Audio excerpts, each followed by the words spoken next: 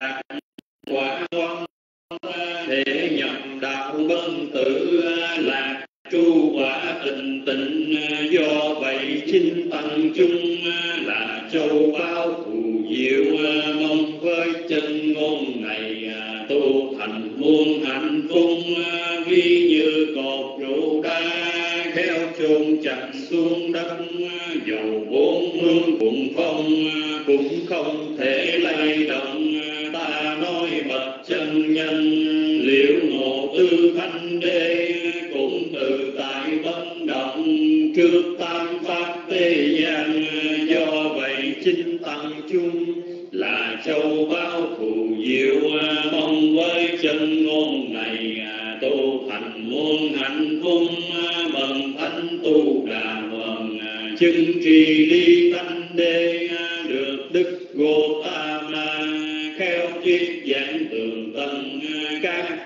dù phóng vật thì cũng không bao giờ tái sanh. Kiếp tư tam do vậy chinh tăng chung là châu bao phù diệu.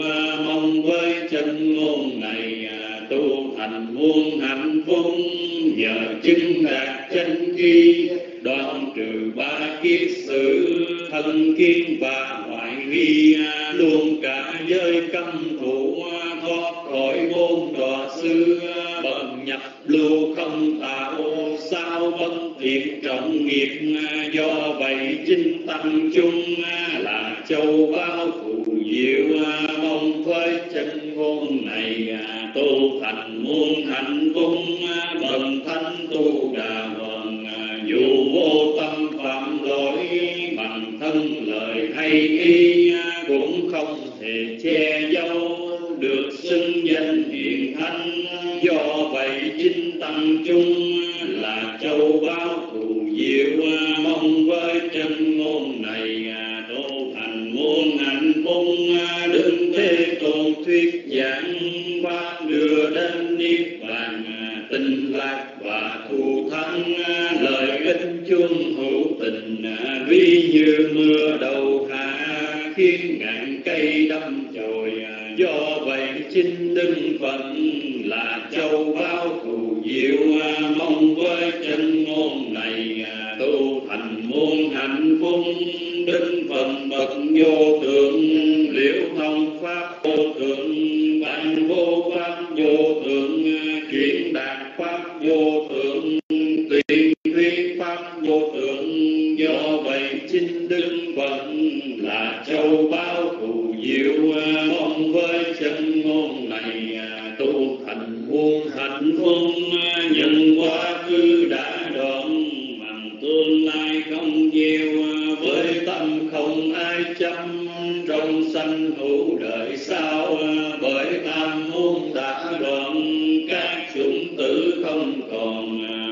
Như ngọn đèn tăng bằng tri chân niết bàn. Do vậy chinh tăng chung là châu bao thù diệu. Mong với chân ngôn này tu thành muôn hạnh phúc. Chung thiên nhân các cõi, dù thiên tiên địa tiên, đã vân tầm nơi đây. Hãy chi thành đảnh lễ tinh vần bậc như lai chư thiên nhân loại đảnh lễ và cung dường. Mong với chân ngôn này à, tu thành muôn hạnh phúc à, chung thiên nhân các cõi à, dù thiên tiên, địa tiên đã vân tập nơi đây hãy chi thành đảnh lễ. Chân pháp đạo như chân được chư thiên nhân loại đảnh lễ và cung cùng mong với chân ngôn này à, tu thành muôn hạnh phúc à, chúng thiên nhân các cõi, dù thiên tiên, địa tiên à, đã vân tập nơi đây hãy chi thành đảnh lễ tranh chung bậc như đức được chư thiên nhân loại đảnh lễ và cúng dường mong với chân ngôn này tu thành muôn hạnh phúc akasatha cha bhumatha dewana ga manitika punyam lo đan tu chi ra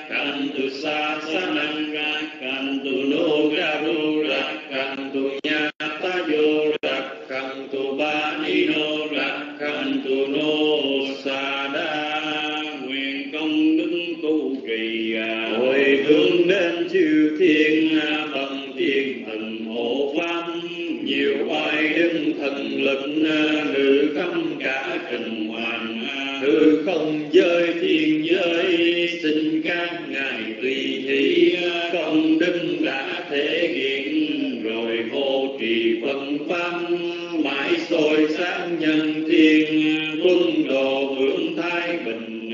Muôn người sống lạc nghiệp mẹ cha và thầy tổ. Quyên thuộc cùng chúng sanh được hạnh phúc dài lâu à, hiểu bình dứt khổ sầu à, ngày ngày vui tu tập, tinh tiến trong đạo màu à, nhưng tâm cầu giác ngộ.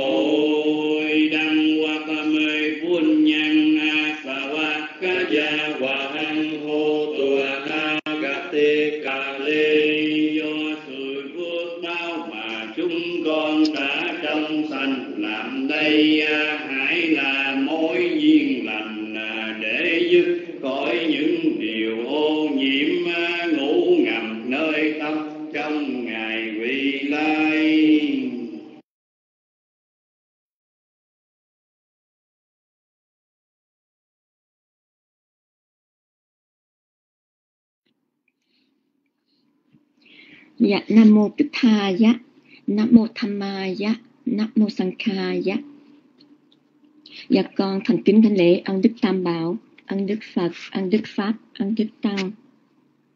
Dạ con Huệ Ngọc, con thành kính thánh lễ Thượng tọa Minh Thành. Con thành kính thánh lễ Đại Đức Tề Chi. Con thành kính thánh lễ Sư Nguyên Thông cùng Chư Tôn Đức. Dạ con kính lễ quý bà, quý cô quý cô tu nữ. Kính chào tất cả quý đạo hữu. Dạ thưa, hôm nay là ngày thứ hai 13 tháng 7 năm 2020 dương lịch, cũng là nhằm ngày 23 tháng 5 âm lịch năm canh tí. Kỳ thức truyền thọ giới Pháp sẽ mới đầu chương trình sinh hoạt trong ngày. Dạ con kính mời quý Phật tử nào muốn thọ bác xin chuẩn bị để cùng con tắt bạch sinh giới. Nam mô Bụt Thà Giá Thay mặt quý Phật tử, chúng con thành kính cung thỉnh Thượng tọa Minh Hạnh tự bi truyền tam quy và bạc giới cho chúng con ạ. À. Uka Samayang Phante Tisarane Nasaha Atang Gasaman Nagatang Upo Satang Yachama Dutiyam Bit Mayang Phante Disarane Nasaha Atang Gasaman Nagatang Upo Satang Yachama Tati yambi Mayang Phante Disarane Nasaha Atang Gasaman Nagatang Upo Satang Yachama. Ngưỡng bạch chư tôn đức Chúng con xin thọ trì tam quy và bạc quan trai giới. Lần thứ hai, chúng con xin thọ trì tam quy và bạc quan trai giới. Lần thứ ba, chúng con xin thọ trì tam quy và bạc quan trai giới. Kính mong quý Ngài lân mận trao truyền quy giới cho chúng con. Và chúng con thành kính cung thỉnh Thượng tọa Minh Hạnh ạ. À.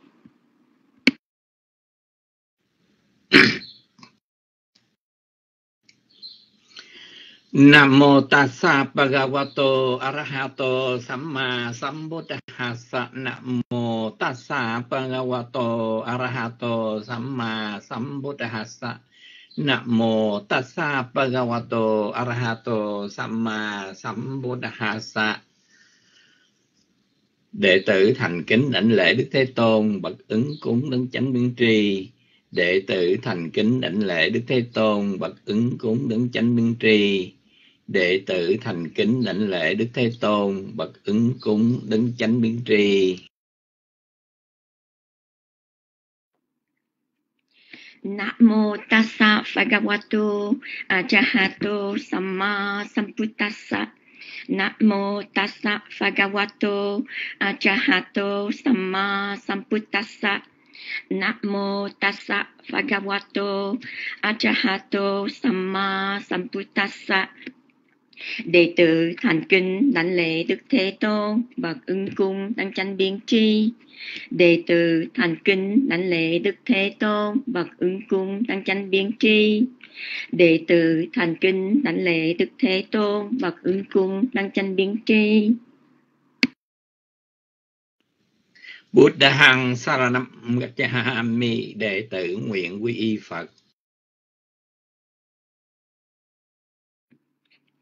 Buddhang Saranang Gacchami đệ tử nguyện quy Phật. Dhammang Saranam Gacchami đệ tử nguyện quy y Pháp. Dhammang Saranang Gacchami đệ tử nguyện quy Pháp. Sanghang Saranam Gacchami đệ tử nguyện quy y Tăng. Sankhang Saranang Gacchami đệ tử nguyện quy tăng. Dutiyambi Buddhang Saranam Gacchami lần thứ hai đệ tử nguyện quy y Phật. Dutiyambi Buddhang Saranang Gacchami lần thứ hai đệ tử nguyện quy Phật. Dutiyambi Dhammang Saranam Gacchami lần thứ hai đệ tử nguyện quy y Pháp. Dutiyambi Thamang Saranang Gacchami lần thứ hai đệ tử nguyện quy Pháp. Dutiyambi Sanghang Saranam Gacchami lần thứ hai đệ tử nguyện quy y Tăng.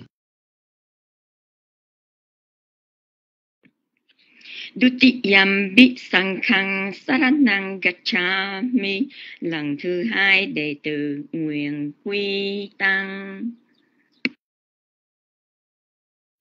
Ba na tị ba ta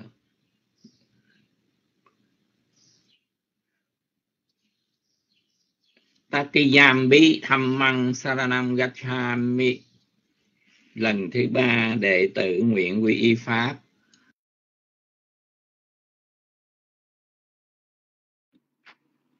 Tatiyambi Dhammang gacha mi lần thứ ba đệ tử nguyện quy Pháp. Tatiyambi Sankhang Saranam Gacchami lần thứ ba đệ tử nguyện quy y Tăng. Tatiyambi Sankhang Saranang Gacchami lần thứ ba đệ tử nguyện quy tăng. Bà na ti bà ta sẽ khả Ba Đăng mi đệ tử nguyện giữ giới không sát sanh.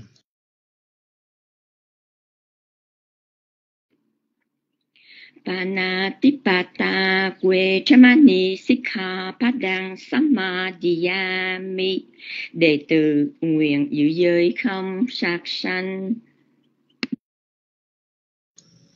Adina Dana Veramani Sikha padang Đăng Samadhiyami đệ tử nguyện giữ giới không trộm cướp.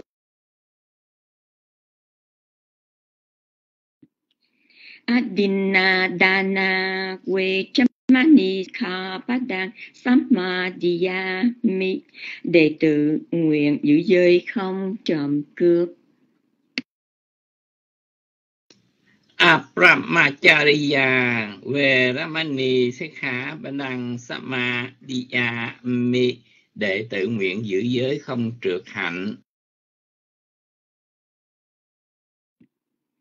Abramacharya Về Chamani Sikha Padang Samadhiya Mi. Đệ tử nguyện giữ giới không trượt hành.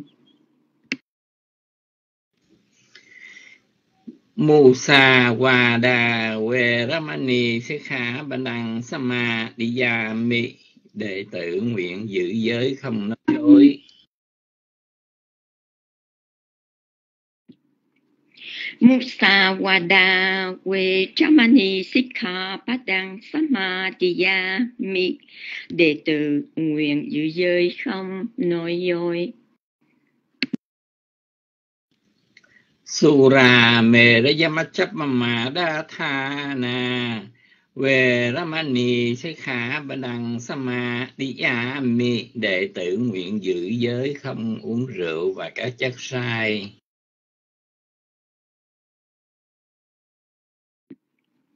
Surame Shayamachapama Dathana We Jamani Sikha Padang Samadhiyami Đệ tử nguyện giữ giới không uống rượu và các chất sai Vikala Phusana Veramani đi Badang Mi đệ tử nguyện giữ giới không ăn phi thời. Vikalapo Chana We Ramani sika Padang Samadhiyami Đệ tử nguyện giữ giới không ăn phi thời. Natya Gita Wadita Visu Kadasana Mala gần thôi đề bác hạnh thà ra na mình đã na vi phụ sanh tha na về Ramani sẽ khả bà năng Sama Diyami đệ tử nguyện giữ giới. Không ca vũ nhạc kịch, thưởng thức ca vũ nhạc kịch, trang điểm và mang đồ trang sức. Nachagitawa Ditawisu Kadasana Malagan. Tawile Panatha Chanaman Danawifu Sanatana. We Chamani Sikha Padang Samadhiyami Đệ tử nguyện giữ giới không ca vũ nhạc kịch, thưởng thức ca vũ nhạc kịch, trang điểm và mang đồ trang sức. Ucha Sejana Maha Sejana Veramani Sikha Badang Mi Đệ tử nguyện giữ giới không sử dụng sàn tọa cao sang. Ucha Sayana Maha Sayana We Chamani Sikha Padang Samadhiyami Đệ tử nguyện giữ giới không sử dụng sàn tòa cao sang. Imang atang gasamana gatang buddhapanyatang upo satang iman charatin iman chadiswasang. Sama dewa uh, virakitum mi chúng con nguyện tinh tấn, nghiêm trì bạc quan trai giới mà Đức Phật đã giáo truyền trọn ngày nay và đêm nay. Nguyện vun bồi căn lành giải thoát trong ngày vị lai. Imani Athasikha Tani uposasi varasena iman jaratan iman chidivasang sa thukang katwa apmamadena sammarakhitam bang chư Phật tử đã thọ tam quy và bát ngoan trai giới, hãy chân chánh nghiêm trì trọn ngày nay về đêm nay, chẳng nên dễ vui. A mắt phàn tê chúng con xin thành kinh phụng hành.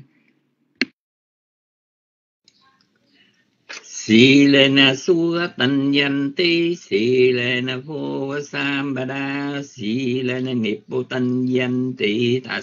si lăng vi so tha ye Người giữ giới hằng được phú túc mạng chung thọ sanh lạc cảnh là thẳng duyên chứng đắc niết bàn do vậy hành giả nên dốc lòng trì giới tịnh thanh.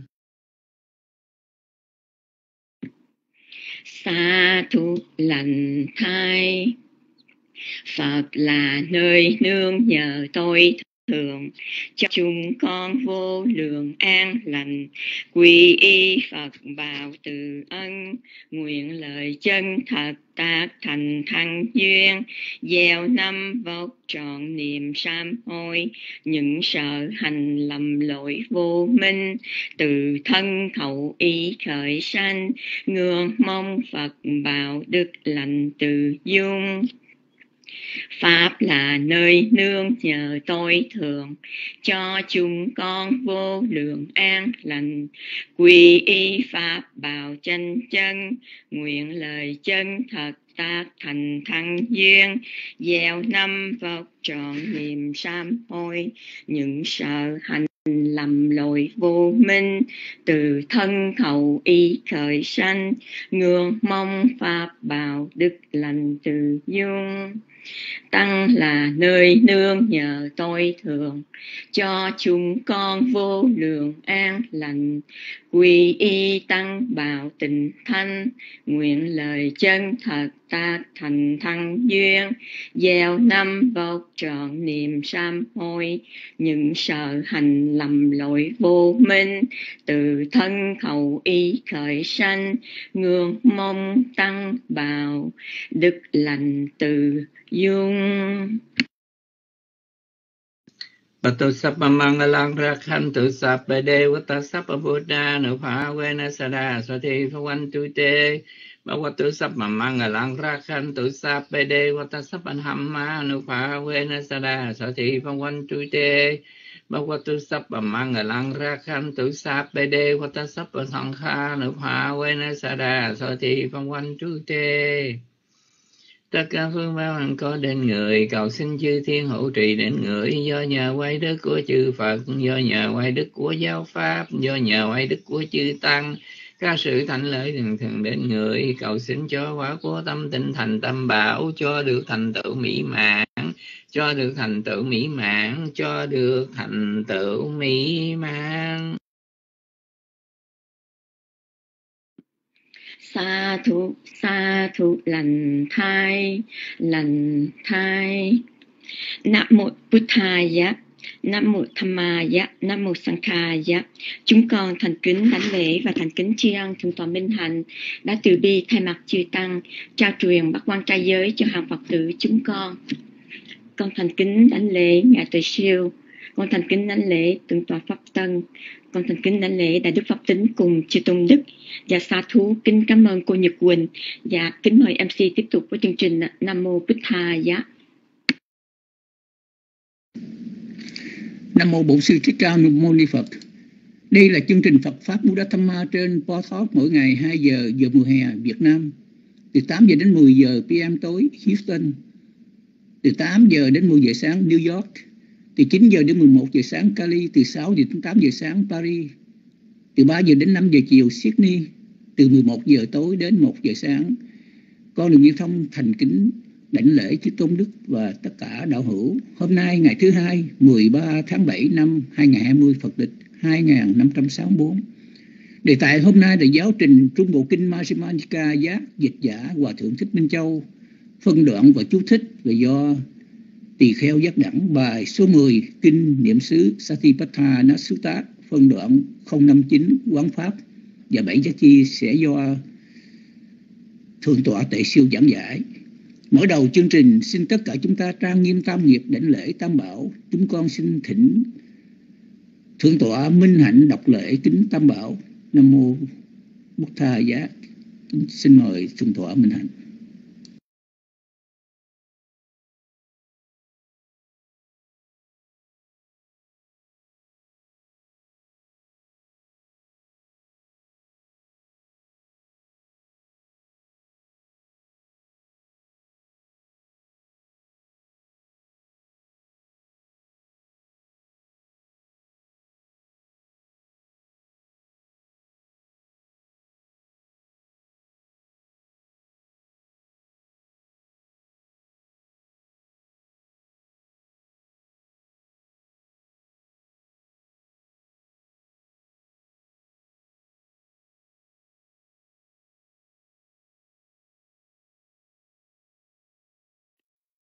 Bích Tha giá dạ con xin được điền khuyết ừ, cho sư Nguyên Thông à.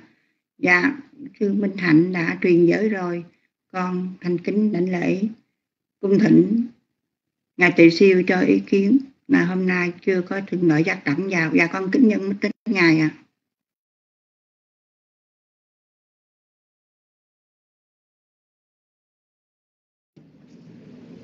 Anh đừng một thời gian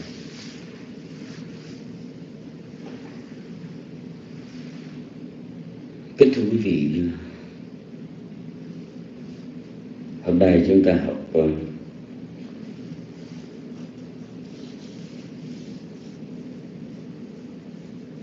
phần pháp hóa niệm xứ tiếp theo.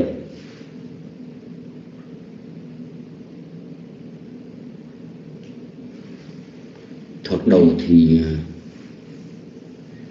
tự tội rất nặng có giờ liên lạc với chúng tôi hỏi ý kiến à, tối nay à, học chỉ có cái phần thất chất chi hay là học luôn. Tứ diệu đế, thì chúng tôi mới à, trả lời là chỉ học cái phần pháp cái niệm xứ thất chất chi thôi để mai này à, sẽ phát pháp cái niềm xứ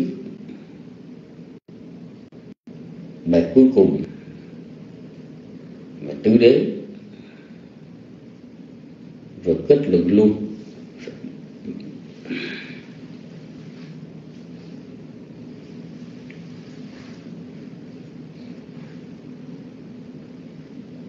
Cho nên hôm nay có mỗi một bài là thân chất chi. Ồ như quý vị ờ, cho biết là thượng tọa giác đẳng có vào rừng rồi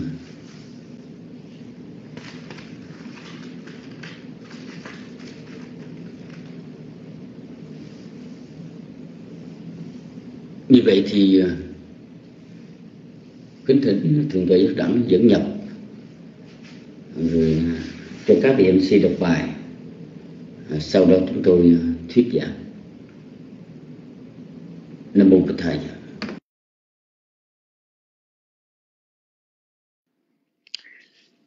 Nam mô bổn thầy dạ kính đại lễ thưa thầy thượng siêu đại lễ chiêu chào tất cả quý phật tử. À, xin lỗi à, quý ngài và quý vị đã vào trễ. À, thưa quý vị hôm nay chúng ta à, học sang đề tài pháp niệm xứ. À, liên hệ đến quán về thức giác chi. Thức giác chi được xem như là bảy cái chi phần à, để dẫn để thành thành tựu tuệ giác. Và từ điều đó cũng là một sự biểu hiện kết tinh của tuệ giác.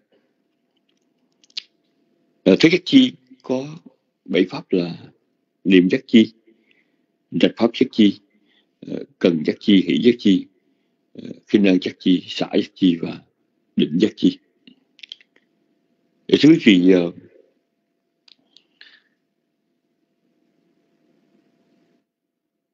đối với những pháp khác như năm truyền cái ở trong giai đoạn đầu hành giả tu tập đó, thì quan sát năm truyền cái xem ra nó khó nhưng mà nó cũng dễ tại vì các truyền cái nó rất là đối lập với ờ, tứ niệm xứ, nó tạo ra sự tương phản lớn.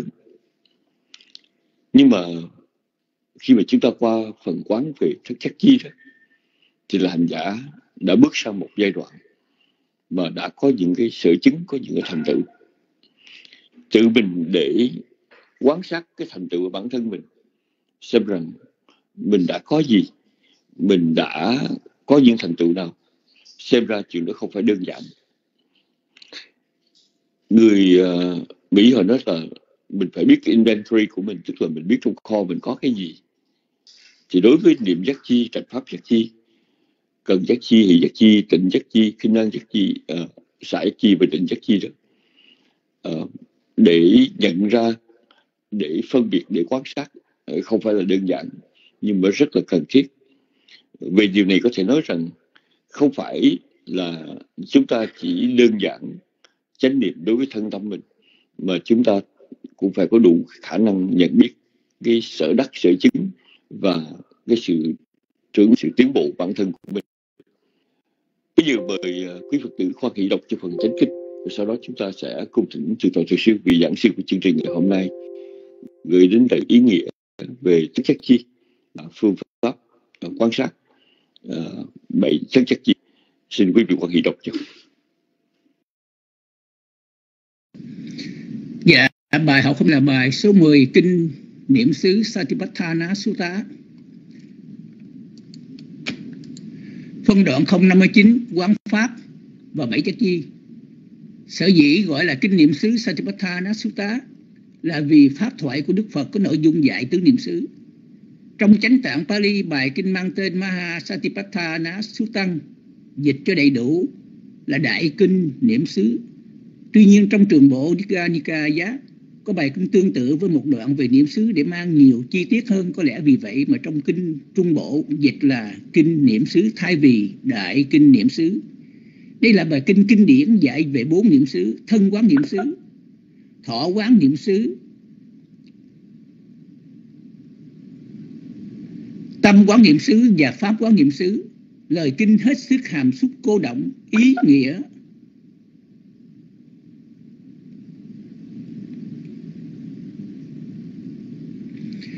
lại nữa này các tỳ kheo tỳ kheo sống quán pháp trên pháp đối với bảy giác chi này các tỳ kheo thế nào là tỳ kheo sống quán pháp trên pháp đối với các bảy chi?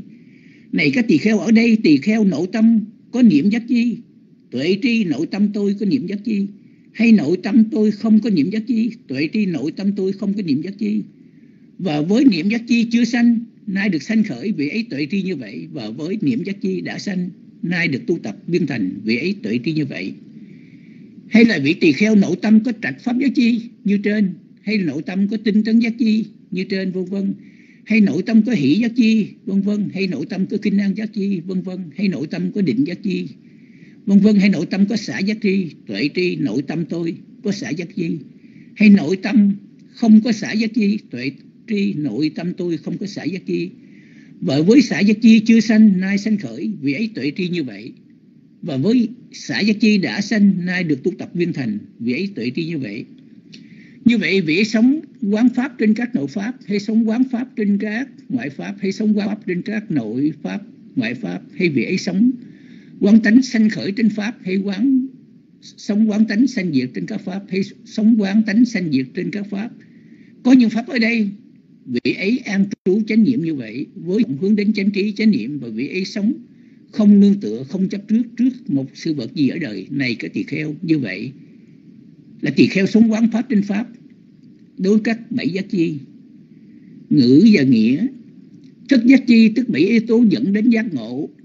Niệm giác chi tức yếu tố minh sát. Trạch pháp giác chi tức yếu tố phân biệt. Cần giác chi tức yếu tố tinh tấn. Hỷ giác chi tức yếu tố an lạc. Tịnh giác chi tức yếu tố lắng động.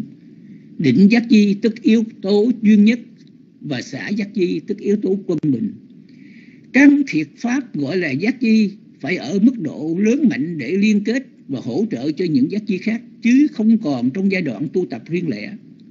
Sứ giả có thí dụ cho những thành viên trong một nhóm người được phân công, mỗi thành viên phải đủ khả năng làm tốt phần hành của mình và hỗ trợ cho những thành viên khác trong nhóm.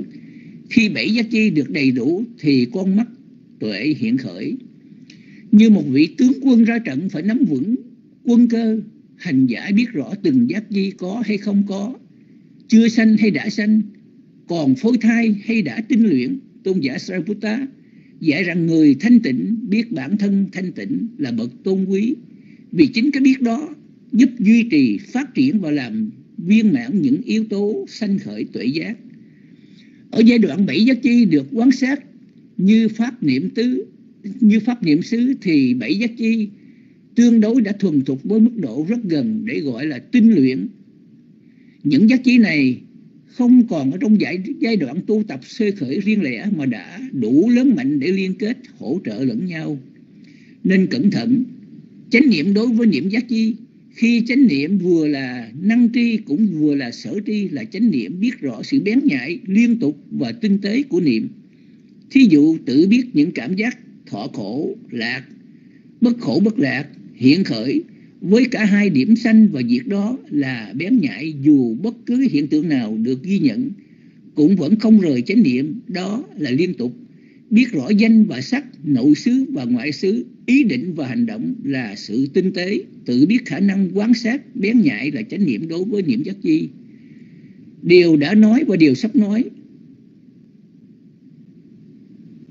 bài học trước là quán pháp quán sáu nội xứ. Bài học sắp tới là tứ diệu đế à, nam mô bổn sư thích ca mâu mâu ni phật. Bài học con đã đọc xong. Bây giờ con thỉnh mời sư bá tự siêu à, từ bi giảng dạy bài học hôm nay. Nam mô sư thích ca mâu ni phật. Con kính mời thượng tọa tuệ siêu.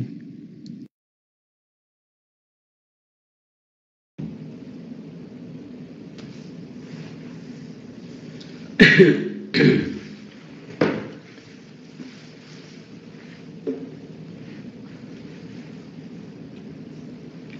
mô Thầy Nam mô Tham Ba Nam mô Sang Khai kính lễ Phật, kính lễ Pháp, kính lễ Tăng. Kính chào Thưa tổng đức và thân chào tất cả quý tu nữ, quý Phật tử. Kính bạch quý ngài, kính thưa quý vị.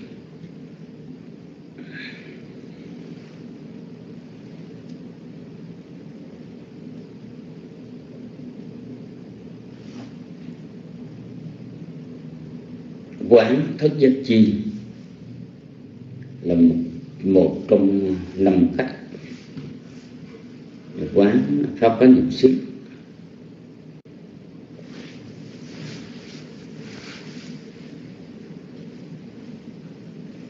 ở đây à,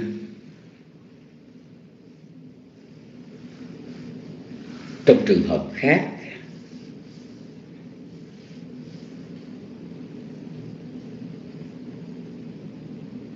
như là bảy pháp cần phải tu tập. Theo Vitapatama thì đó là bảy giác chi.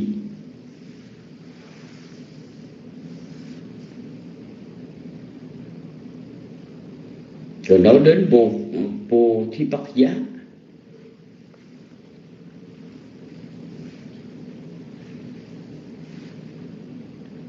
Là bảy nhóm pháp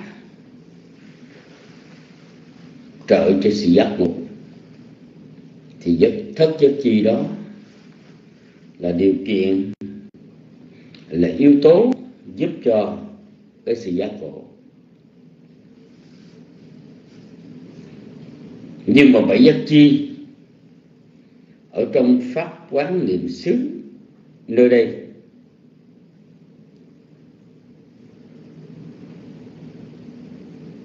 không nằm ở trong cái phạm trù tu tập,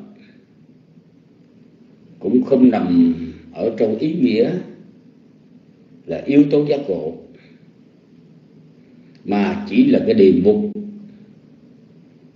để vị tỳ kheo suy quán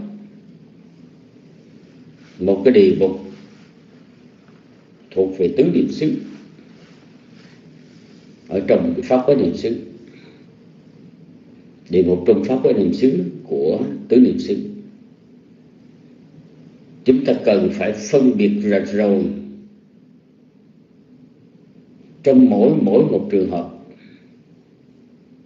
Chứ không phải lúc nào chúng ta cũng định nghĩa và giải thích như là cái pháp tu tập, pháp tu tập, pháp tu tập hay là cái pháp dẫn đến giác ngộ, dẫn đến giác ngộ. Ngay trong cái bài học này, cái đề tài quán bảy giác chi, đó là đối tượng đi mục chứ không phải là yếu tố giác ngộ, mà cũng không phải là phương pháp tu tập nữa. Chúng ta cần phải lưu ý chỗ đó dễ bị trùng lập lắm, thưa quý vị. Cho nên bây giờ chúng ta, nếu giải thích, thì chúng ta chỉ giải thích sơ lược để cho hiểu nghĩa như cái trọng tâm là cách quan sát như thế nào và tại sao tu tập phát quán quán niệm xứ về thất giác chi.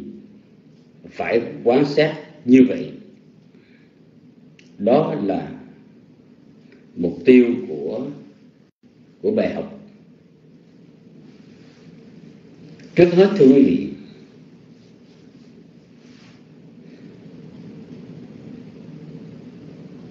niệm giác chi satipocchanga hay là sati sampocchanga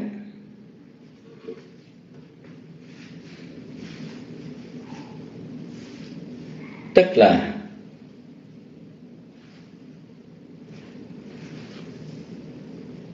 chánh niệm bén nhạy.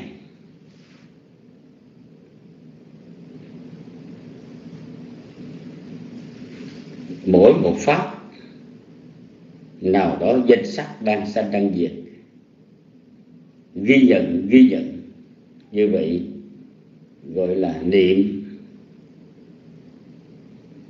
thế nào là trạch pháp?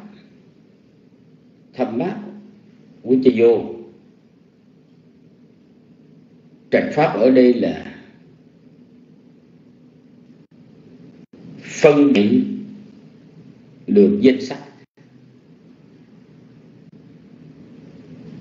tức là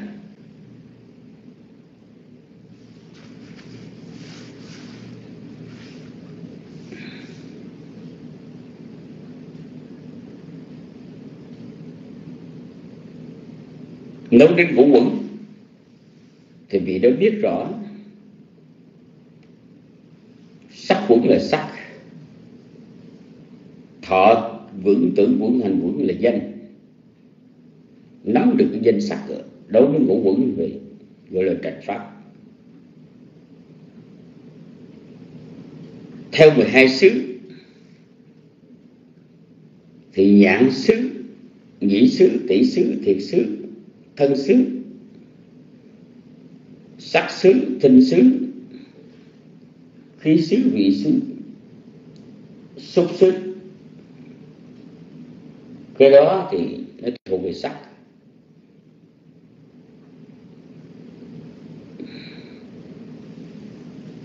Ý xứ thuộc về danh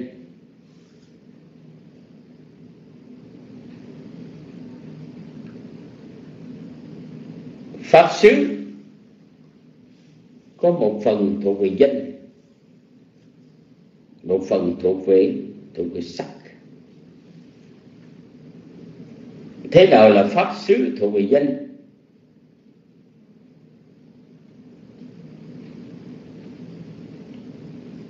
Cái gì là thọ quẩn? Thì cái đó là pháp xứ. Là tưởng quẩn là pháp xứ, hành quẩn là pháp xứ cái này thuộc về danh. Niết bàn cũng thuộc pháp xứ, thuộc về danh. Danh pháp của vị. Và 16 sắc tế sukuma sukuma rupa 16 sắc vi tế đó, thì đó là là pháp thì như vậy, pháp xứ có một phần, danh phần thuộc về sắc.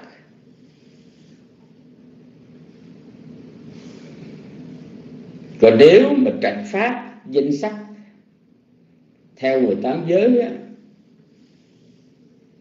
nhãn giới nhị giới tỷ giới thiệt giới thân giới sắc giới thân giới khí giới vị giới xúc giới cái này hoàn toàn thuộc về sắc.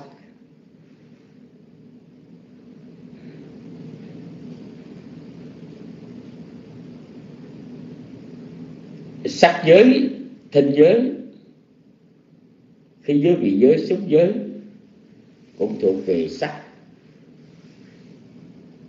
Nhận thức giới, nhĩ thức giới tỷ thức giới, thiệt thức giới, thân thức giới ý giới, vị thức giới. Bảy. Thức giới này nó thuộc về danh, hoàn toàn thuộc về danh.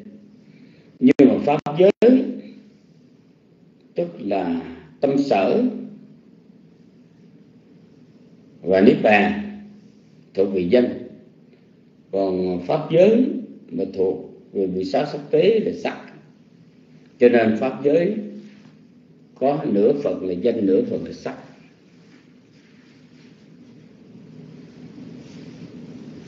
Khi mà phân biệt được như vậy đó,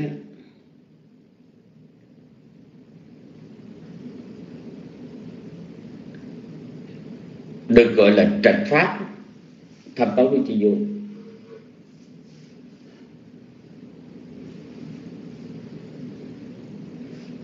rồi cần dắt chi, thế nào là cần?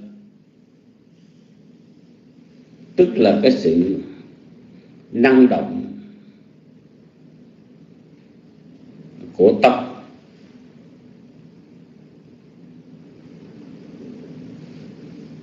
Sự tinh tấn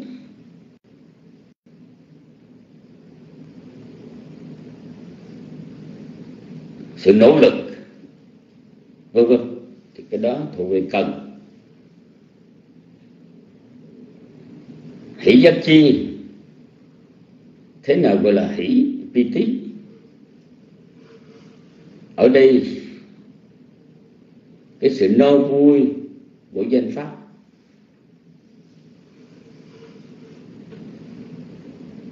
Có cái sự hưng phấn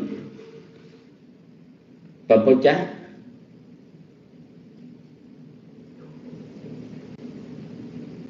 thì như vậy, được gọi là gọi là hỷ.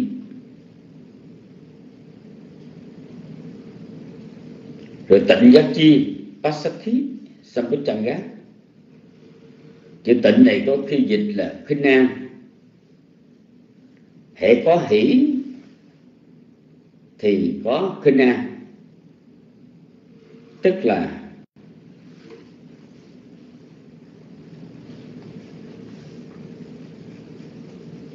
thuộc về Kaya và Chitta Pasati, hãy vi trí hành quẩn đó nó sẽ làm cho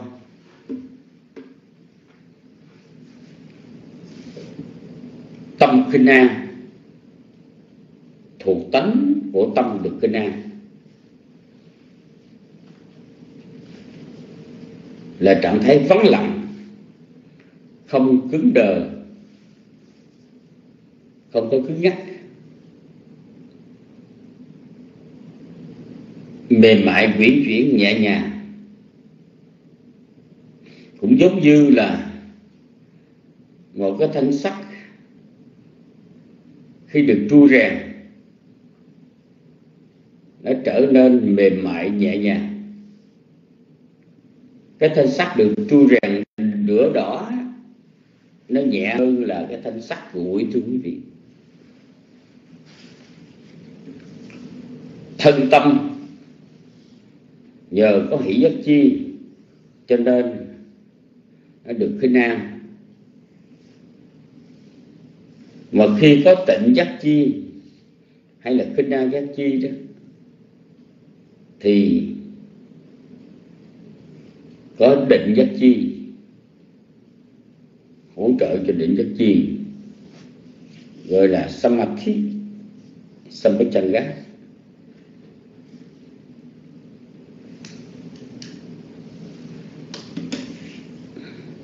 một trạng thái duy nhất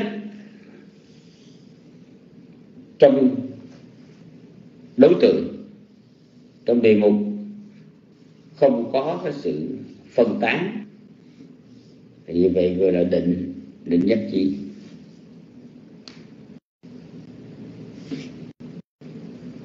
Khi thế nào gọi là xã giác chi?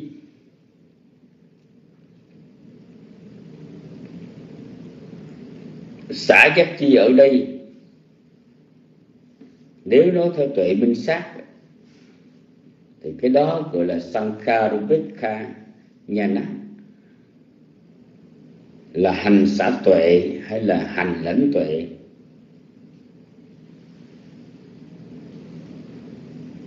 Một tuệ quán.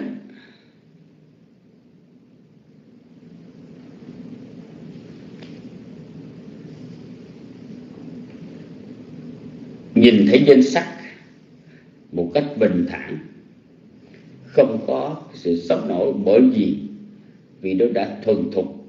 Khi nhận thức, danh sách này là vô thường khổ và vô ngã ở cái giai đoạn gọi là samvasana nhana tức là phổ thông trí hay là cập trí. Đã thuần thục, đã thấy. Cho nên đã vượt qua cái giai đoạn Pajanyana tức là quảng quả tuệ, hay là a đi nó quá nhà nát là tội quá tuệ, cũng vượt qua được Nibbeda Nhana tức là yếm đi tuệ, tức là chán. Thoạt đầu khi mà tu tập thì thấy danh sắc nó sanh diệt. Rồi bắt đầu à, sợ. Một cái nỗi sợ hãi khởi lên. Rồi vượt qua sự sợ hãi thì đi đến chỗ nhàm chán. Mà khi nhàm chán thì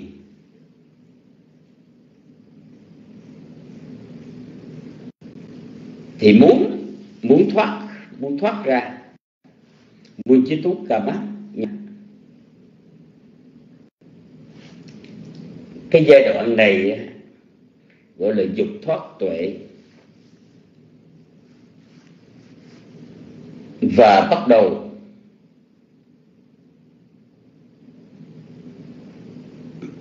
Patikhana nhà ná, quyết ly quyết ly tuệ. Ngay trong lúc đó, cái giai đoạn đó là cái giai đoạn sốc nổi mà trong thanh tịnh đạo giải thích là cái giai đoạn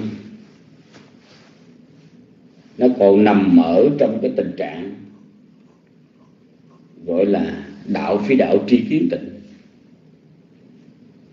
Nói qua cái này thì nó hơi khó hiểu chút xíu. Thôi bây giờ trở lại vấn đề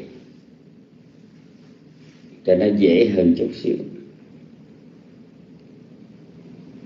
Đến cái giai đoạn mà được gọi là hành lộ, qua cái giai đoạn hành lộ tri kiến tịnh đó, thì mới đi đến cái chỗ tri kiến tịnh. Tức là bắt đầu hành xã tuệ. Hành xã tuệ mới đến thuận thứ. Rồi chuyển tập tuệ, rồi đạo quả. Thì ở cái giai đoạn hành xã là tâm bình thản trở lại. Cái tâm bình thản trở lại. Tức là cái gì nó đến nó sẽ đến. Không có sốc nổi nữa. Cho nên bảy giác chi này ở trong cái giai đoạn sơ khởi tu tập thì tu, tu tập từng món từng thứ cho đến khi đã được tinh luyện, thì lúc bây giờ nó không còn ở giai đoạn từng món, từng thứ riêng lẻ, mà nó đã hòa quyện với nhau, nó tương quan với nhau, hỗ trợ với nhau. Cũng giống như một người đầu bếp vào buổi sáng khi họ chuẩn bị các cái nguyên liệu để nấu một món ăn, họ sắp bài ra đó. Đây là rau, đây là củ, đây là hành là ớt, là tỏi, là thịt, là cá, vân vân. Họ để đó. Cho đến khi mà họ đã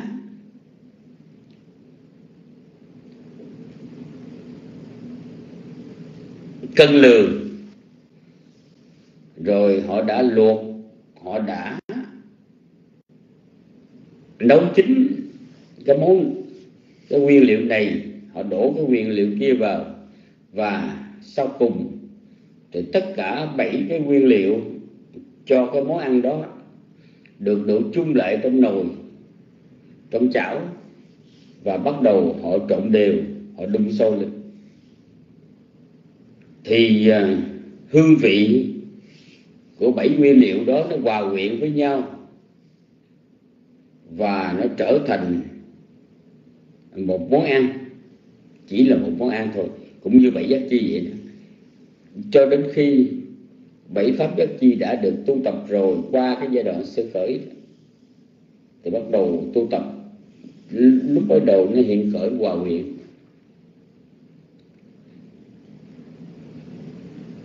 và tương ưng với nhau.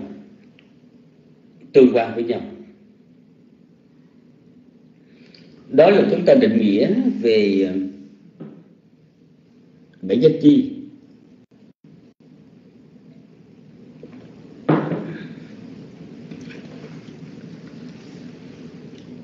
Để khi mà chúng ta đọc qua kinh văn,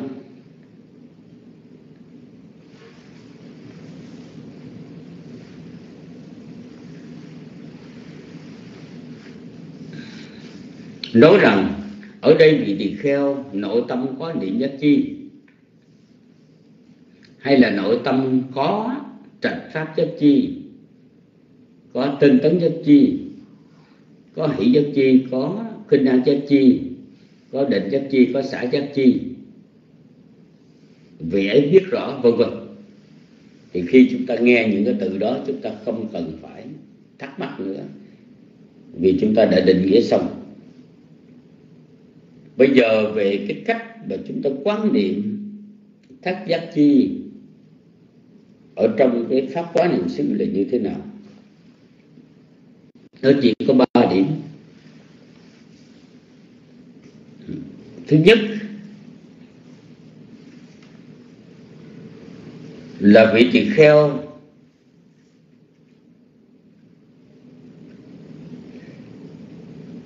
nội tâm có niệm nhất chi.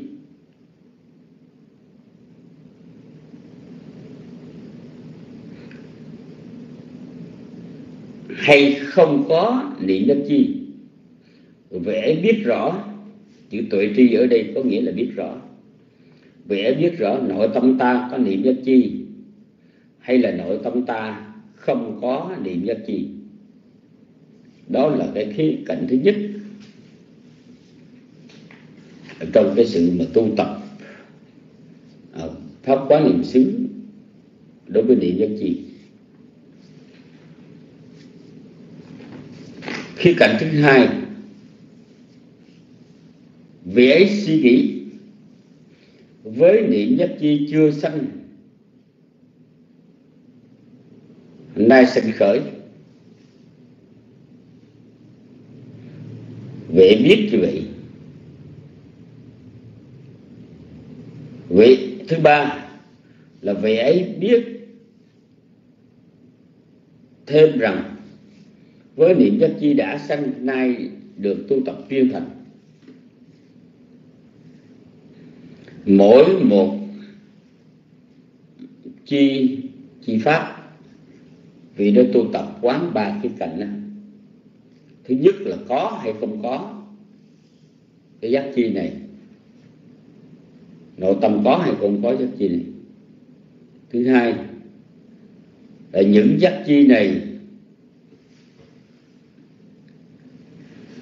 trước chưa sanh, nay sanh khởi vì nó biết rõ như vậy. Rồi những giác chi đã sanh khởi, nay được tu tập viên mãn. Đó là khía cạnh thứ ba. Bị nhà quán xét như thế. Đối với trạch pháp giác chi cũng vậy có hay không có, biết.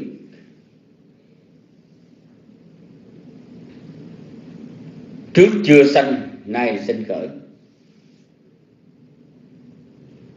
Đã sanh khởi rồi, nay được tu tập viên mãn.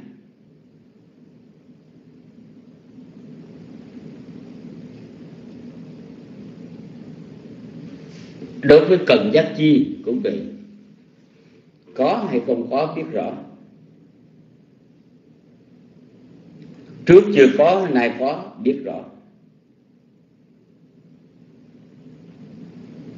Khi đã có rồi, được tu tập viên mãn, biết rõ.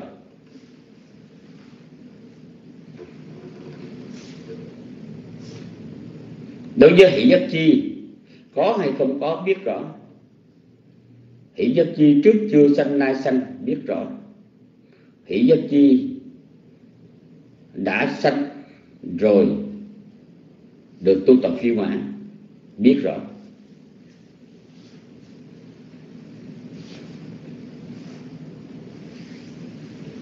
đối với tịnh giác chi, có hay không có, vị đó biết rõ. Trước tịnh giác chi chưa có, nay có, sanh khởi, vị đó biết rõ.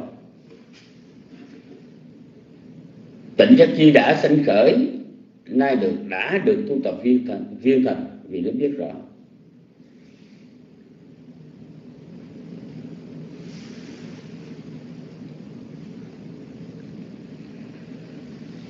Kế đến là định giác chi. Vì ấy suy niệm, tịnh giác chi có hay không có, trong nội tâm, vị đó biết. Tịnh giác chi, trước chưa có, nay có, sinh khởi, vị đó biết rõ. Tịnh giác chi đã sinh khởi rồi, được tu tập phi thành thì nó biết rõ. Với xã giác chi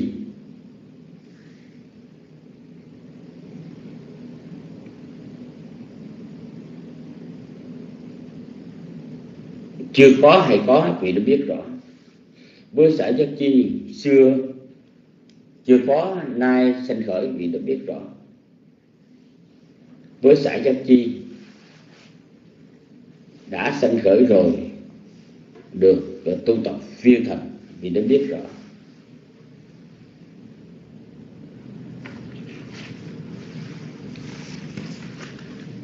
Ở đây một vị tỳ kheo tu tập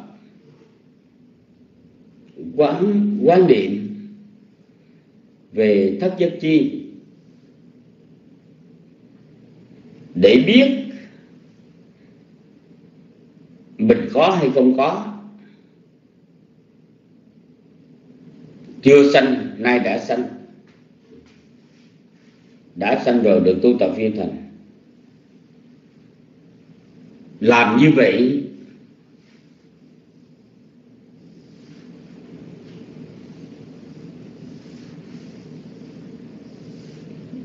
cái biết đó giúp cho duy trì, phát triển và làm viên mãn những yếu tố tuệ giác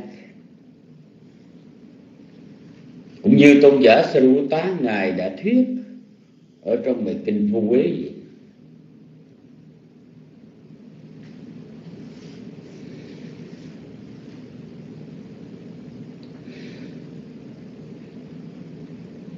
người có câu quế biết mình có câu quế nhờ vậy người đó có thể gột rửa câu quế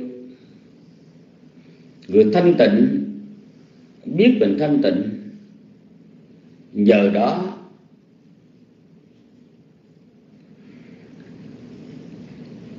càng thêm trong sáng cũng như cái bắt đồng vua từ trở về mới ra ten cũ kỹ. Đống bụi. Bị mờ. Người vô về đó, họ tẩy rửa cái bắt đồng đó. Nó được sáng ra.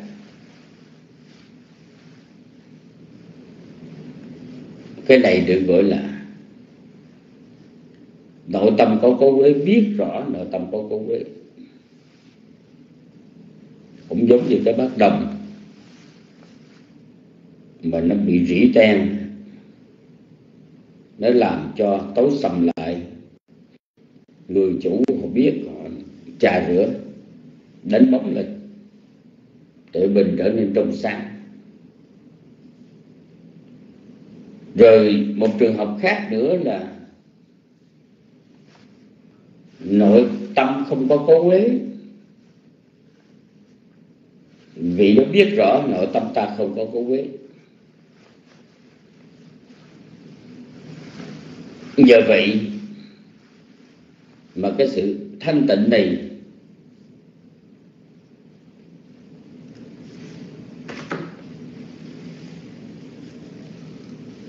nó được duy trì và được tỏa sáng thêm, cũng giống như cái bát ở ngoài đồng, cái bát đồng bằng đồng ở ngoài chợ mới mua về. Cái bát đã sáng, đã bóng và cái người chủ đó mỗi ngày xiên lao tới, lao lui,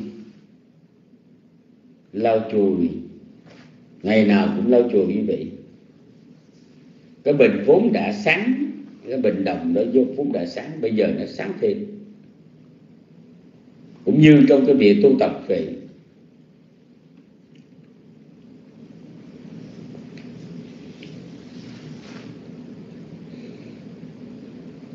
Khi mà có được cái pháp giác chi vị đó biết rõ mình có pháp chất chi.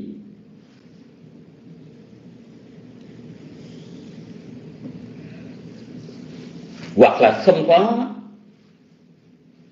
chưa có chưa có pháp chất chi, biết rõ mình chưa có pháp chất giác chi.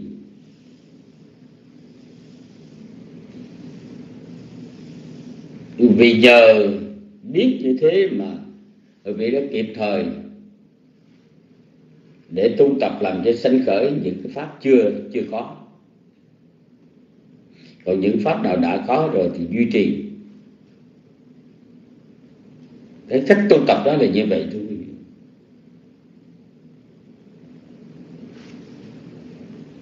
cho nên ở đây chúng tôi nhắc lại là bảy giác chi ở trong pháp quá niệm xứ nó chỉ là một đề mục để quán niệm. Một cái đề mục để quán niệm. Nó không phải là ở đây không có trình bày như là một cái pháp tu tập. Bởi vì chánh niệm ghi nhận bảy giác chi đó, chánh niệm đó đã là tu tập rồi cho nên không có mất ra cái bảy giác chi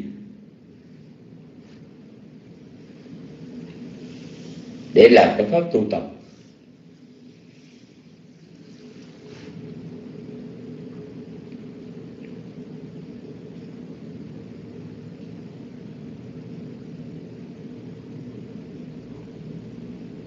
Nhưng mà cần phải hiểu rằng một vị hành giả trước khi thực hành pháp với niệm xứ. Với đề tài bảy giác chi, thì trước cái đó, vị này phải học cho thông suốt. Phải học cho thông suốt. Sau khi học hiểu rồi thì lúc đó vị này mới có thể suy xét cái pháp chất chi đó. Nội tâm ta có hay chưa có? Hoặc là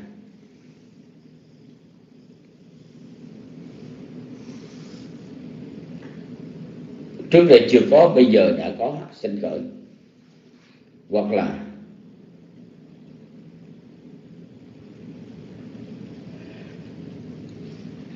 bảy giác chi đã sinh khởi, nay được tu tập viên thành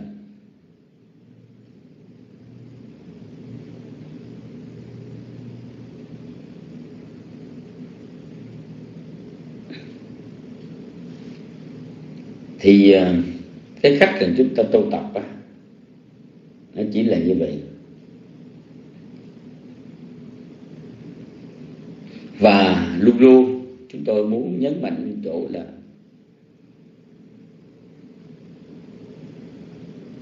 không phải lúc nào cái pháp đó. Hãy nói đến là chúng ta phải định nghĩa, chúng ta phải đưa vào cái chức năng của nó. Phải thì.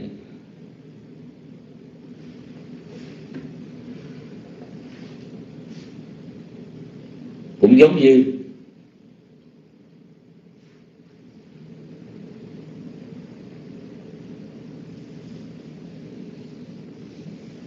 vị sư đó là vị trụ trì của ngôi chùa. Vị đó chỉ có thẩm quyền và sắp xếp công việc ở tại cái ngôi chùa của mình, điều hành cái ngôi chùa của mình thôi. Nhưng khi vị đó đi đến cái hội chúng khác trong một cái cuộc lễ khác, vị đó tham dự như là một cái vị tăng chứng. Chứ không phải là lúc đó vì đó. Sắp xếp điều hành nữa cũng như vậy giác chi, trong trường hợp bình thường, một người đang cố gắng để tu tập, thuần thục cho thuần thục bảy giác chi, thì cái chuyện đó là chuyện riêng.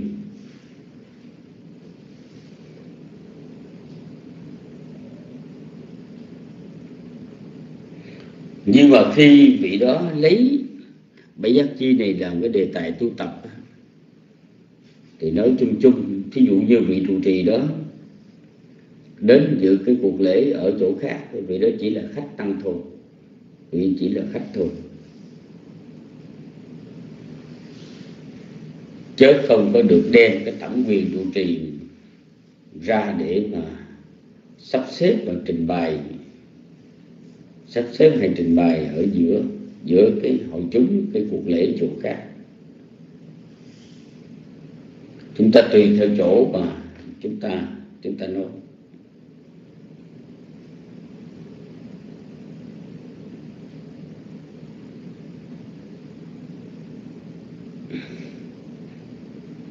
Đối với pháp có niệm xứ một quán niệm về bảy giác chi đó, thì chúng ta chỉ cần nghe như vậy hiểu như vậy để mà chúng ta ứng dụng và chúng ta tu tập được rồi.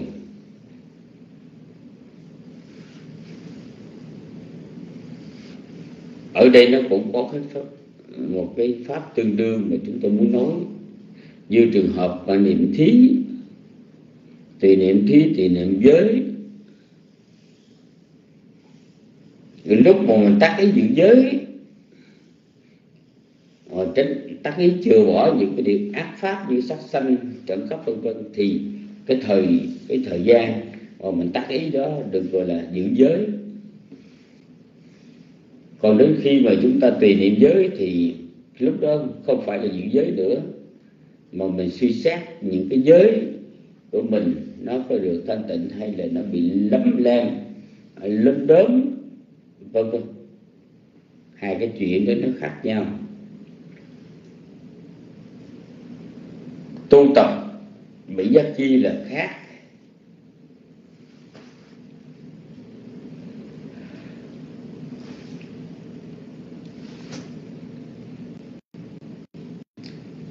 còn khi mà chúng ta lấy bảy giác chi đó làm cái đề tài để chúng ta suy niệm,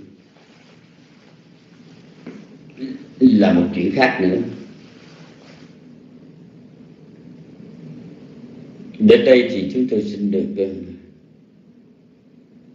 kết thúc cái buổi giảng về pháp quả niệm xứ với bảy giác chi. Bây giờ thì xin cụ tỉnh thượng tọa nhất đẳng quan hỷ sắp xếp điều học điều học cho cái buổi thảo luận với chư tăng. Nam mô thầy.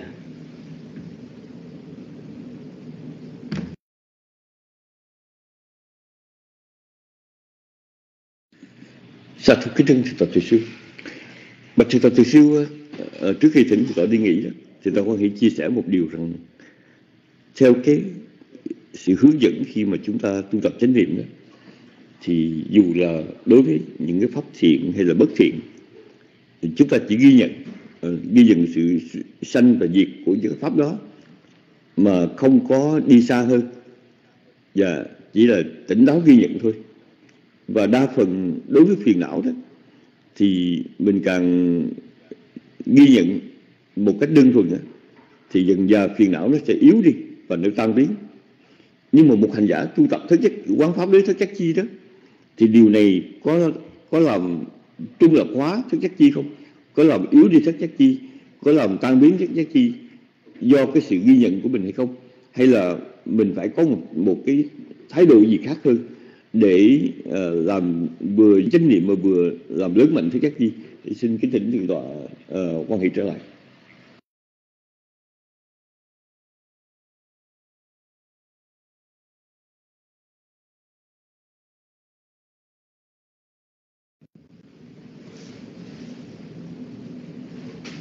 Kính bạch chư tần kính thưa quý vị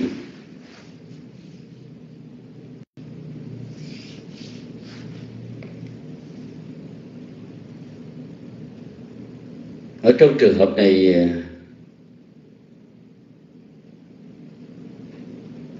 cái thiện pháp và cái bất thiện pháp đó, nó lại có một cái khác nhau.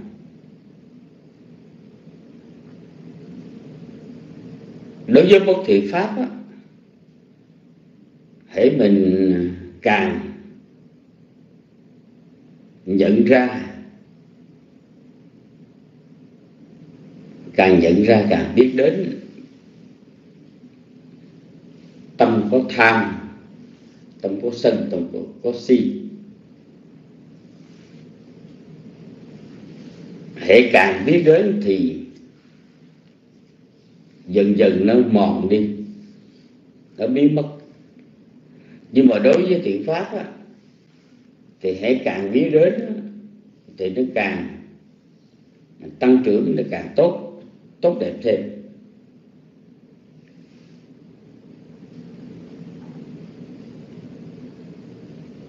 Chúng ta lấy ví dụ giống như hàng ngày chịu khó làm xiên, sắc chổi, cầm cái chổi quét cái căn phòng của mình.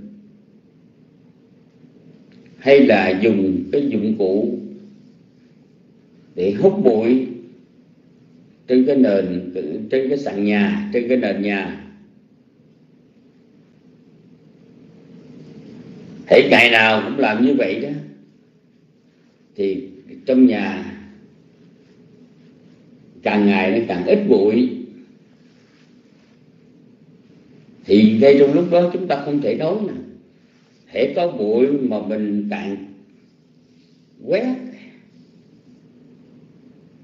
Thì nơi lần lần cái bụi đó, nó hết đi. Thì như vậy, cái sạch đó đó, nếu mà mình càng quét, thì cái sạch đó nó hết chăng? Lần lần nó mờ chăng? Không phải, thưa quý vị. Đối với bụi là khác, mà cái sự sạch là khác. Chúng ta càng hút bụi, càng quét bụi bụi nó sẽ giảm dần, nó sẽ giảm thiếu và cái sự sạch sẽ càng lúc nó càng tỏa sáng cái nền nhà thêm nữa. Càng tỏa sáng cái nền nhà thêm nữa. Cho nên tùy đối với phiền não như là bụi, hãy mà mình càng chánh niệm phát hiện ra phiền não, thì hãy càng phát hiện ra phiền não thì phiền não sẽ biến mất. Nhưng mà hệ thiện pháp chúng ta càng phát hiện ra thiện pháp này mình có hay không có? Thì dần dần thì pháp đó càng tăng trưởng thêm, càng mạnh mẽ thêm. Cũng như trong trường hợp thất chất chi quý vị nếu mà mình có đã có tu tập rồi, mà mình bỏ quên đó thì chính vì cái chỗ mà mình bỏ quên đó lâu ngày nó mới, nó bị, mới bị quên lãng. Mình bỏ qua không có chú ý, không ghi nhớ, thì lâu ngày nó quên lãng. Cũng giống như cái bình bát, một cái bát đồng mua về, bỏ quên ở trong xó, thì nó sẽ dơ bẩn. Còn nếu bác đồng đem về mà cứ mỗi ngày đem ra xăm xôi chùi rửa chùi rửa kỳ cọ đánh bóng lên, thì càng ngày cái cái bát đồng đó nó càng sáng, nó càng sáng lớn cho nên ở đây,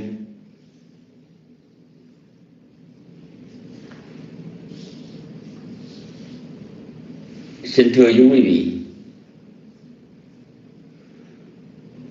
là chúng ta ghi nhận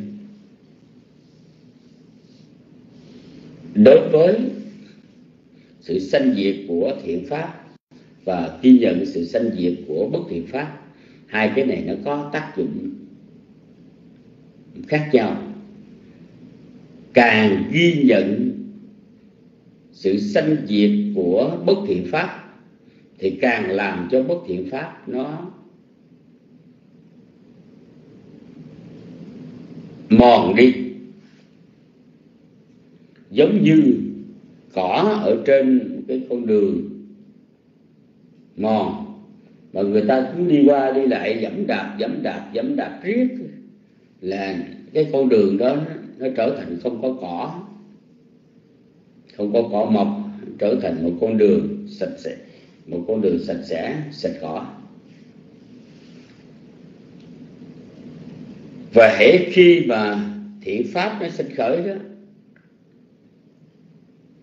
mình càng ghi nhận thì cái thiện pháp đó nó càng tăng trưởng nó càng phát triển. Chứ chúng ta đừng lo là nó sẽ biến mất giống như là mình phát hiện cái cái, cái thiện pháp à, cái bất thiện pháp.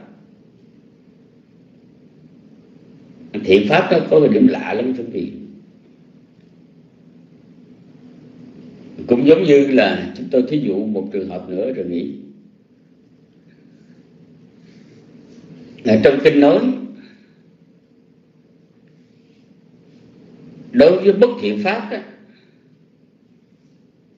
hễ càng đối với ác pháp mình càng làm thì càng chồng chất càng chồng chất cái phiền não lên. Ác pháp mà mình càng làm là càng chồng chất phiền não. Cái sự lưu hồi danh tử đó càng kéo dài. Còn đối với thiện pháp đó, mặc dù cái thiện pháp đó nó cũng là nhân tạo luân hồi, những cái thiện nghiệp hiện thế là nhân tạo thiện nghiệp. Bố thí thì giới, tu thí cung kính phục vụ vô vân mặc dù làm, tạo cái thiện pháp này được cái quả dị tục sinh khỏi trời của người, nhưng mà chúng ta đừng nghĩ rằng là nếu vậy thì chúng ta càng làm thiện pháp thì là chúng ta càng bị luân hồi danh tử. Mặc dù ở cõi vui, nhưng không thưa quý vị. Trong kinh chú giải nói rằng, thiện pháp càng làm làm càng nhiều, thì bắt đầu nó hao mòn phiền não. Nó giúp cho tiêu hao phiền não và dần dần đi đến chỗ kết thúc. Bởi vậy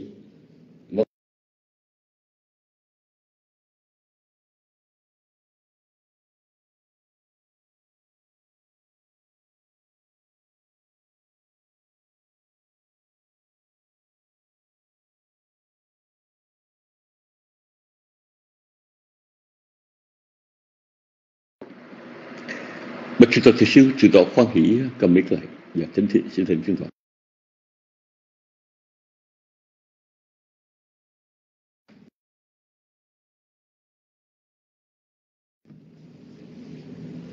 Quý vị có còn nghe chúng tôi nói không?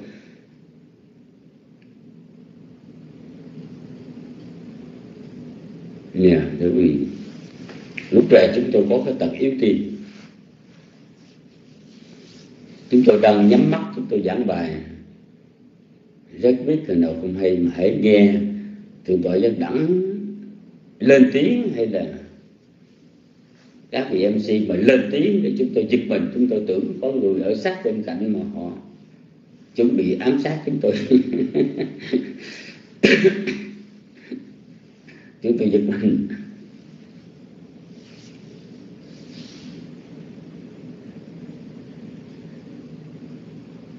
Thì trở lại vấn đề thưa vì chúng tôi muốn nói.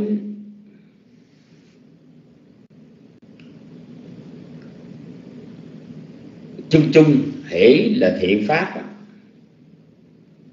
thì mình càng biết đến làm thiện pháp nó càng tăng trưởng. Thiện pháp mình càng làm thì nó càng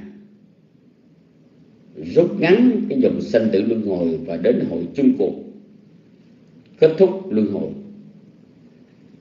Ngược lại đối với ác bất thiện pháp đó, thì mình càng biết đến thì nó càng bị biến mất.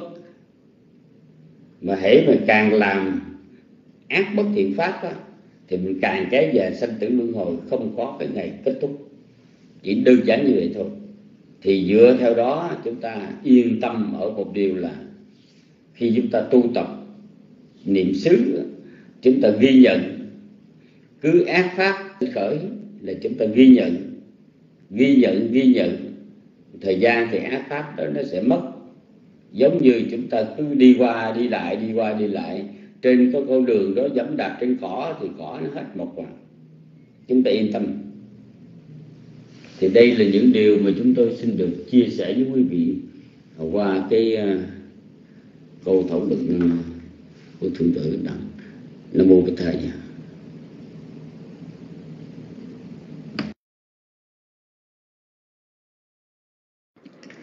Sa thú kính thưa sư tọa thực sư, tính sư tọa thực sư đi nghỉ. Sư tọa pháp đăng, sư tọa pháp đăng có ở trước máy và nghe được không? Nếu sư tọa pháp đăng nghe được, kính thỉnh sư tọa trả lời cho câu thảo luận số 2. Dạ. Sư pháp đăng ở trong thất chất chi có một yếu tố gọi là trạch pháp chất chi à, pháp chất chi là cái khả năng phân biệt một cách rất là tinh tế giữa những pháp nên thân cận và không nên thân cận à, giữa thiện và bất thiện giữa sanh với diệt. Nhưng mà ờ, mới nghe thì không có vấn đề gì nhưng mà nhiều người đó họ quan niệm rằng mình tu càng lâu là cái trong mình nó càng vô phân biệt tức là đặt đến chỗ vượt trên trên mọi sự ác thì uh, đặc biệt là chư Phật và chư vị A Hán thì không Ờ, không còn ở trong cảnh giới phân biệt nữa. Như vậy thì đối với chư Phật chơi vị Thắng thành pháp nhất chi có không? Và các ngài có thấy giá trị có thành pháp gì có giá trị không? Và uh, có phải là người đối với người tu tập thực sự thì thành pháp giác chi có giá trị không? Xin uh, thỉnh uh, thỉnh thông đăng khoan hỷ cho vậy kiến về điểm này.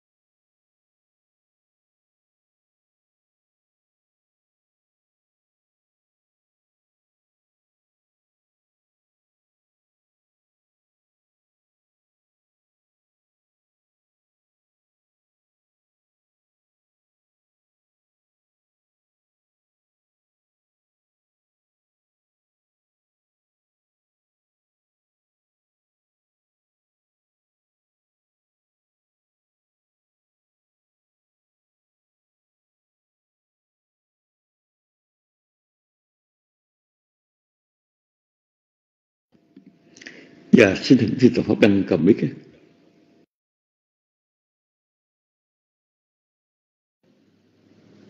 hello? Hello quý vị thấy không? Quý vị nghe không? Dạ được cảm ơn quý vị.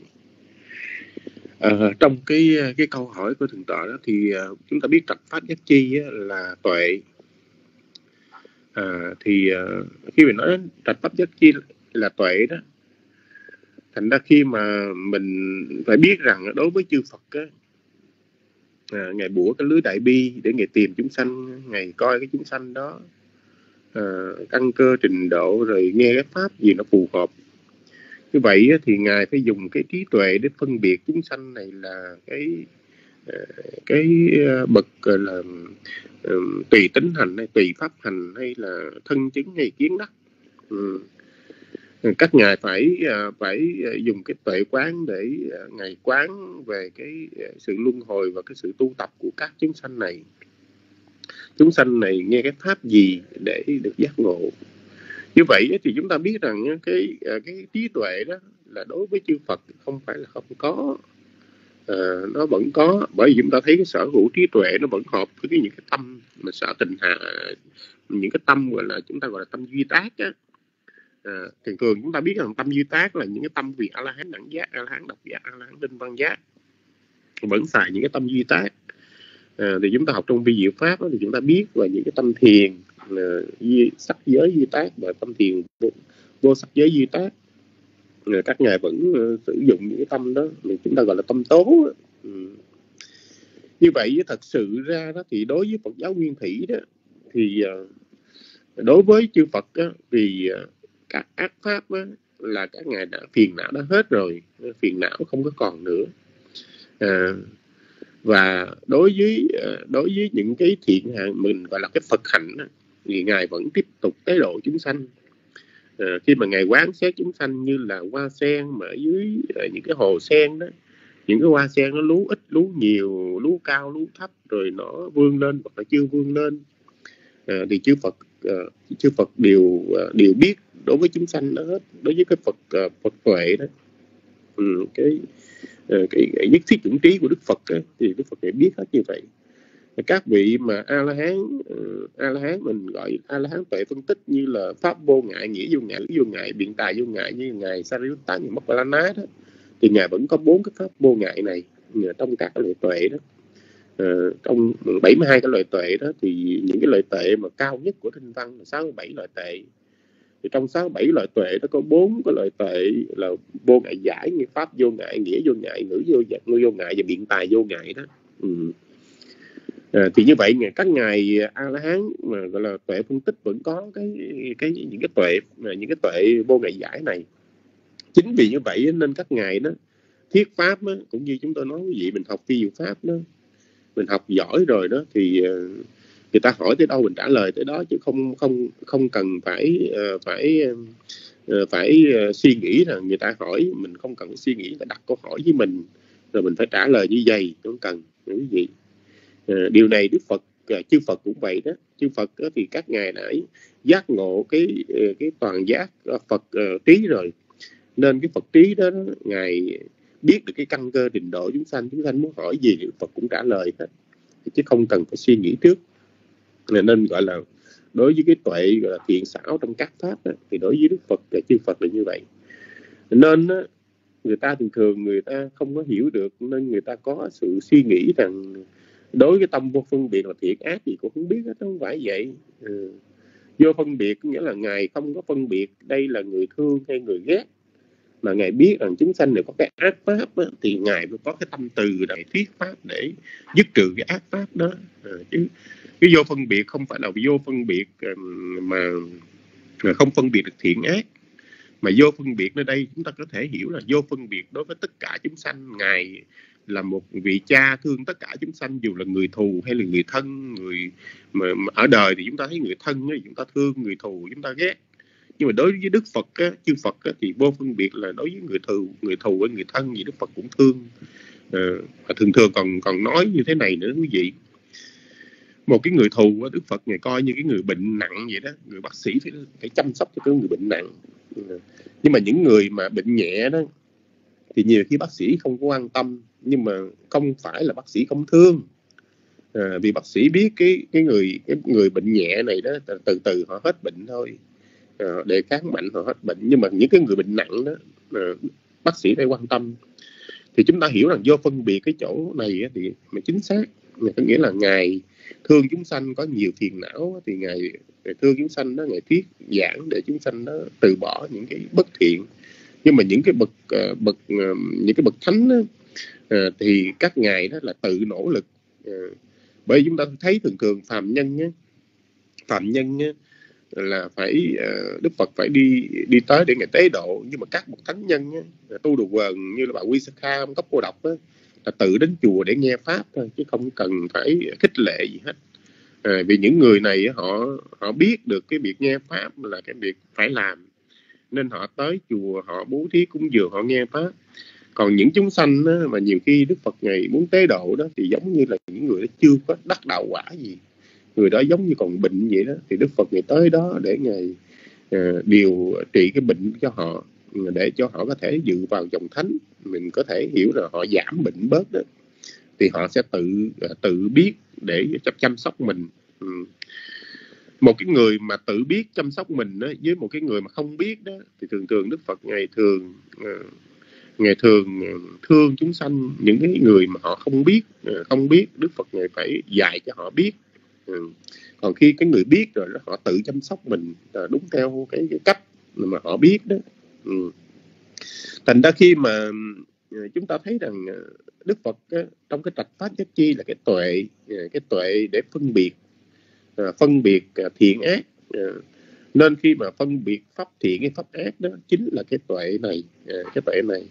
Nên thường thường quý vị thấy cái mình tu pháp quán niệm xứ đó, nếu mình biết được hôn trầm thị miên hay là trảo hối, là tham dục tham dục cái đó, thì chính là cái thiện nó biết cái tâm bất thiện quý vị chứ không phải cái tâm bất thiện nó biết cái tâm bất thiện đâu không phải. À, thì chính cái thạch pháp giác chi đó trong cái tâm thiện đó nó biết được cái pháp bất thiện mới vừa sanh khởi. Như là hôn trầm thị miên cái vừa sanh khởi. À, mà chưa có đoạn trừ được. À, hôn trầm thị miên này được đoạn trừ không còn sanh nữa. Thì chính cái thạch pháp giác chi nó biết quý vị. Ừ. chứ không phải cái à, giác chi nào biết mà chính cái thạch pháp giác chi là cái tuệ nó biết được.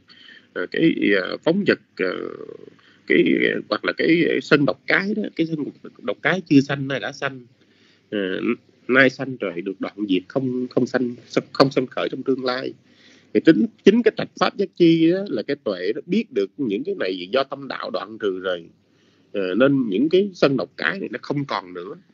À, còn những cái mà khi mà cái cái tuệ đạo nó chưa sanh khởi đó thì cái cái hôn trầm thì miên cái chưa sanh nay đã sanh à, nhưng mà vị nó biết rằng không cầm thì miên cái đang sanh này thôi, chứ chưa có đoạn diệt được. Ừ. còn khi mà cái tuệ đoạn diệt đó là cái tâm, cái tuệ nó hợp trong tâm siêu thế để biết rằng cái phiền não này đã đoạn đoạn diệt rồi, tương lai không sanh khởi nữa. Thì chúng ta phải hiểu như vậy. Thì nó cũng là cái tuệ, nhưng cái tuệ này ở trong cái tâm thiện ờ, để đè cái tâm bất thiện ờ, cũng là tạm thời diệt trừ cái tâm bất thiện thôi. Ờ, chứ chưa phải là cái tâm, cái tuệ trong tâm siêu thế còn khi cái tuệ trong tâm siêu thế sanh khởi đó, thì vị đó biết rằng cái phiền não này được đoạn diệt tương lai không có sanh khởi nữa. Chúng ta phải hiểu vậy. Chính cái tạch pháp giác chi này đó là cái tuệ. Nhưng mà cái tuệ này đó thì cái sở hữu trí tuệ nhưng mà đi trong tâm siêu thế đó chúng ta gọi là cái cái tuệ siêu thế.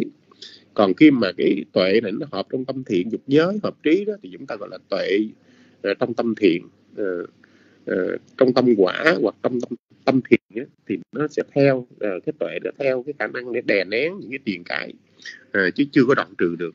Uh, như cái như là cái tham dục cái đó được đè thôi chứ chưa có đoạn trừ.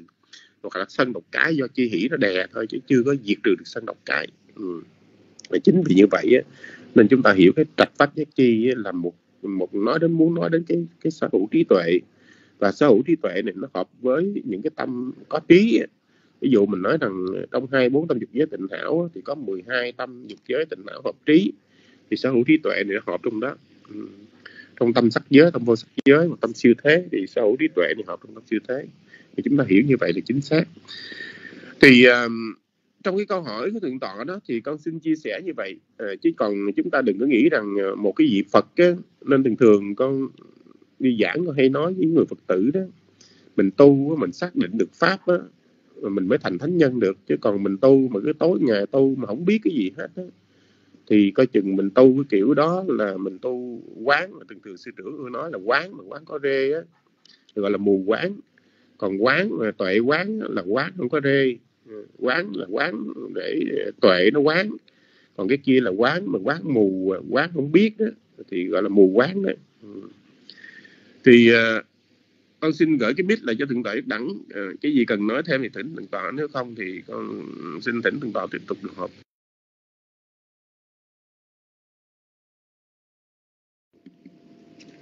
Sa thú kính chân thượng ờ, tọa pháp đăng. Thượng tọa pháp tinh thượng tọa có mặt ở trước máy và nghe được không? Nếu thượng pháp tinh nghe được xin thỉnh thượng tọa khoan hỷ trả lời cho cô ờ, thảo luận số 2 số 3 xin lỗi dạ. Thưa pháp tinh khi một người tu tập về thánh chất chi thì ở đây rất là rõ ràng là thánh chất chi là khi nó nó hiện rõ ràng, nó lớn mạnh, nó là sở đắc, sở chứng của một hành giả nhận biết về bản thân của mình. Nhưng mà thông thường khi mình mình biết rằng trong tâm có niệm giác chi, cảnh pháp chi, vân vân, thì mình hay sanh ra tấm kiêu mạn dạ ồ, mình đắc như vậy, mình chứng như vậy. Thì làm thế nào để nhận biết thiện pháp ở nơi bản thân mình? Mà không sanh ra kiêu mạn xin thỉnh ờ, uh, sự hợp tác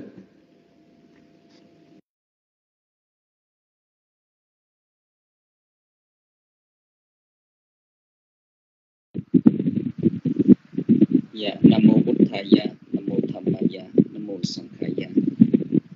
Con xin thành kính đảnh lễ ờ, ơn Đức Tam Bảo, Đức Phật, Giáo Pháp và Chư Tăng. Kính đảnh lễ Thượng Đại Đảnh Đảnh, Tuyệt Quyền, Hành, Tuyệt Trì, Sự Liên Thông, Chư Tăng. Kính chào quý cô tu nữ và kính chào quý thiện nam. Cảm ơn Phật tử cho biết đã nghe rõ trên phương diện tu tập đặc biệt là với một cái người tu tập thiền thì như chúng ta biết rằng cái sự tu tập thiền thì phải đòi hỏi cái cái sự công phu của mình nó đều đặn và thường xuyên liên tục à, quý vị có nghe được không nghe bập bập hả quý vị còn nghe không ạ à? nghe rõ không dạ yeah, thì chắc có lẽ là cái quạt quạt quạt ù ù ở đây đó thì uh, chúng tôi nghĩ rằng uh, cái việc mà mình uh, tu tập thiền đó thì cái đòi hỏi cái sự cái sự trao dồi của mình sự nỗ lực của mình một cách liên tục. Vì um, như quý vị biết rằng à, để mà chuẩn bị cho cái cái đời sống thiền tập thì có lẽ là mình phải gác hết những cái cái cái sự ràng buộc xung quanh của mình bớt đi. Những sự ràng buộc xung quanh nó bớt đi. Rồi à, chúng ta mới có thể là à, dành trọn vẹn cho cái cái tâm của mình hướng đến cái việc hành trì đó.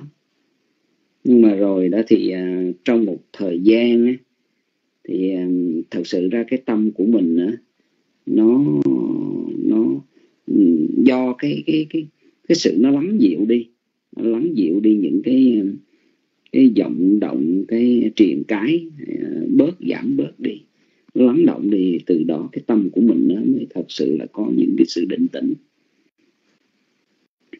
chúng ta phải nói đến cái việc mà chứng đắc các cái chi thiện. Nhưng mà thí dụ như bây giờ mình mình mình ngồi thiền đi. Nhưng mà cái tâm của mình nó có một khoảng thời gian uh, nửa giờ đồng hồ hoặc là một giờ đồng hồ hoặc là hai ba mươi phút 10 phút có cái tâm định tĩnh đó thì thật sự là mình đã có được cái sự an lạc. Ờ, có được sự an lạc. Nhưng mà gom lại nhiều lần như vậy thí dụ như quý vị biết rằng cái định của một cái người mà chưa chứng đắc thiền thì nó nó nó không có bền vững. Nhưng mà mình à, mình phải phải tôi luyện nó hoài, làm tới, làm lui tới, làm lui. Sự thật ra thì à, một một lúc mà mình ngồi thiền, để rồi à, cái tâm mình có được những cái án xứ hay là những cái cái tướng trạng để mà mà mà mà cái nội tâm nó có được cái sự mát mẻ nó có được cái sự yên tĩnh rồi từ đó mới ờ, sanh ra cái sự phỉ lạc đó. Nó có nó có cái vấn đề đó. Tại vì à, theo cái khuynh hướng bình thường á, thì à, cái tâm phàm phu thì thường thường có những cái sự vọng động. À, bởi chi phối bởi năm cái cái cái, cái pháp truyền cái à, cho nên cái tâm cũng khó mà mà mà, mà định tĩnh nhưng mà mình luyện, mình tập cho cái tâm của mình ờ, cứ gắn tâm vào trong một cái đề mục và làm tới làm lui. Theo chúng tôi nghĩ đó thì ờ, nếu mà mình có khoảng thời gian ờ, thí dụ như là một một tiếng đồng hồ mình hành thiền, thì mình có được khoảng 10 20 phút định tĩnh 10 hoặc 20 phút định tĩnh. Và ngày mai mình lại cũng đừng để cho tâm của mình bị chi phối về những cái cảnh những cái cái cái, cái phiền não ừ, cái tiền cái này thì mình cũng vẫn giữ cái tâm của mình như vậy. Rồi ngày mai nó cũng phải là một cái thời hành thiền của mình giờ hành thiền của mình mình có khoảng chừng ờ, nửa tiếng đồng hồ hoặc là một tiếng đồng hồ nhưng mà mình có được 20 phút định tĩnh là cứ dần dần như vậy. Thì cái khi mà mình một đến một mức độ nào đó thì ờ, cái tâm mình nó có được cái sự an lạc thí dụ như trong kinh nói đó là những cái uh, cái nimitta tức là cái tướng uh, của cái cái việc mà mang đến cái nội tâm của mình gần có được cái sự an lạc trong đó nó có sự hỷ lạc này. Sự hỷ lạc tức là mình cảm thấy như là dù là mình không có dùng cơm đi nữa không có dùng cơm không có ăn các vật thực nhưng mà mình cũng không thấy đói mình ngồi á, mà mình dù là một tiếng đồng hồ nhưng mà mình cũng không thấy nó tê chân hay là mình mình mệt mỏi. Cái trạng thái đó nó có. Nhưng mà rồi đó đi xa hơn nữa với cái một mức độ nào đó chúng tôi nghĩ rằng cái nội tâm của mình mà đến một mức độ nào đó thì nó có cái tâm định tĩnh. Thì chúng ta nghe mô tả là cái sự hỷ lạc nó nó tràn đầy à, sự hỷ lạc nó tràn đầy rồi cái sự định tĩnh nó có từ ở cái sự định tĩnh đó, lần lượt rồi cái tâm của mình nó có thể đặt định. Đối với một cái người tu tập thì à, không phải tự nhiên mà, đương không mà cái tự nhiên cái tâm của vị hành giả đó, họ có được sự định tĩnh. Yeah. từ cái định tĩnh sơ khởi cho đến là cái định tĩnh mà chứng đắc tiền. Cái cái định gọi là định kiên cố, tức là định chứng đắc thiền thì để mà có những điều đó thì phải qua cái quá trình của một cái vị hành giả luôn luôn trao dồi cái cái nội tâm của vị hành giả.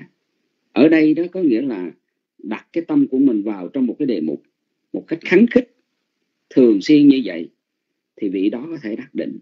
Nhưng mà chúng ta cũng biết đó để mà cho cái tâm của mình đó, đừng có sanh lên cái cái kêu mạng thì ờ, mình đọc ở trong kinh thì chúng ta thấy rằng ờ, giống như là cái bài kinh mà dụ lỗi cây vậy đó.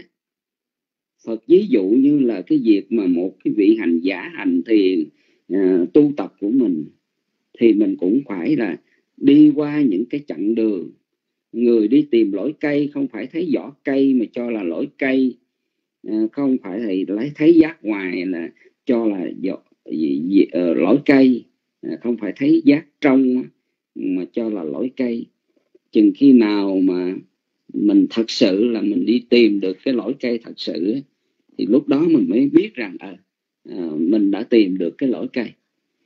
Thì cái tiến trình tu tập của một cái vị hành giả thì chúng tôi nghĩ rằng là nó cần phải qua những cái giai đoạn như vậy.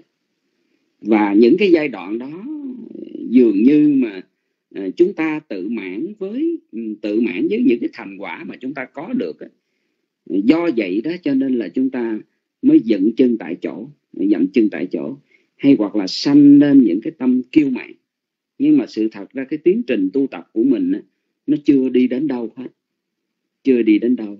Thì như quý vị biết rằng từ cái việc mà đạt được cận định tức là cái trạng thái định mà nó chưa vững chắc ấy, Ờ, đi đến kiên cố định tức là đạt chứng được cái sơ thiền nhị thiền tam thiền đó, thì nó cũng phải qua từng cái giai đoạn để mà chứng đắc được cái cái uh, kiên cố định tức là đắc sơ thiền nhị thiền tam thiền tứ thiền đó thì cái vị đó phải trải qua cái trạng thái cận định.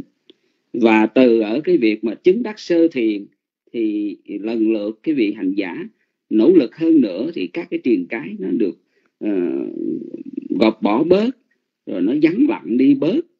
Thì à, chúng ta thấy rằng à, à, cái nội tâm nó càng an tinh tế chừng nào càng an tịnh tinh tế chừng nào thì cái mức độ của sự an tịnh nội tâm nó càng cao chừng nấy.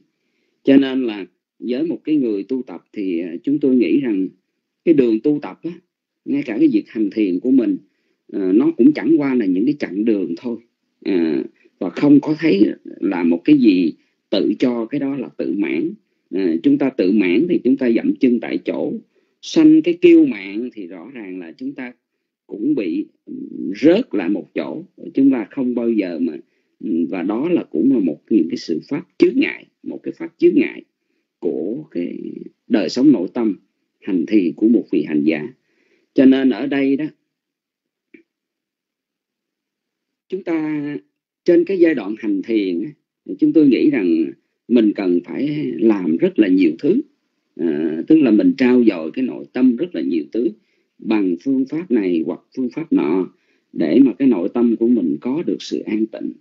Nhưng mà đó cũng chẳng là chúng ta nghĩ tưởng lại đó là cái đó cũng chẳng qua là những chặng đường để chúng ta cần phải bước qua mà thôi. À, cho nên là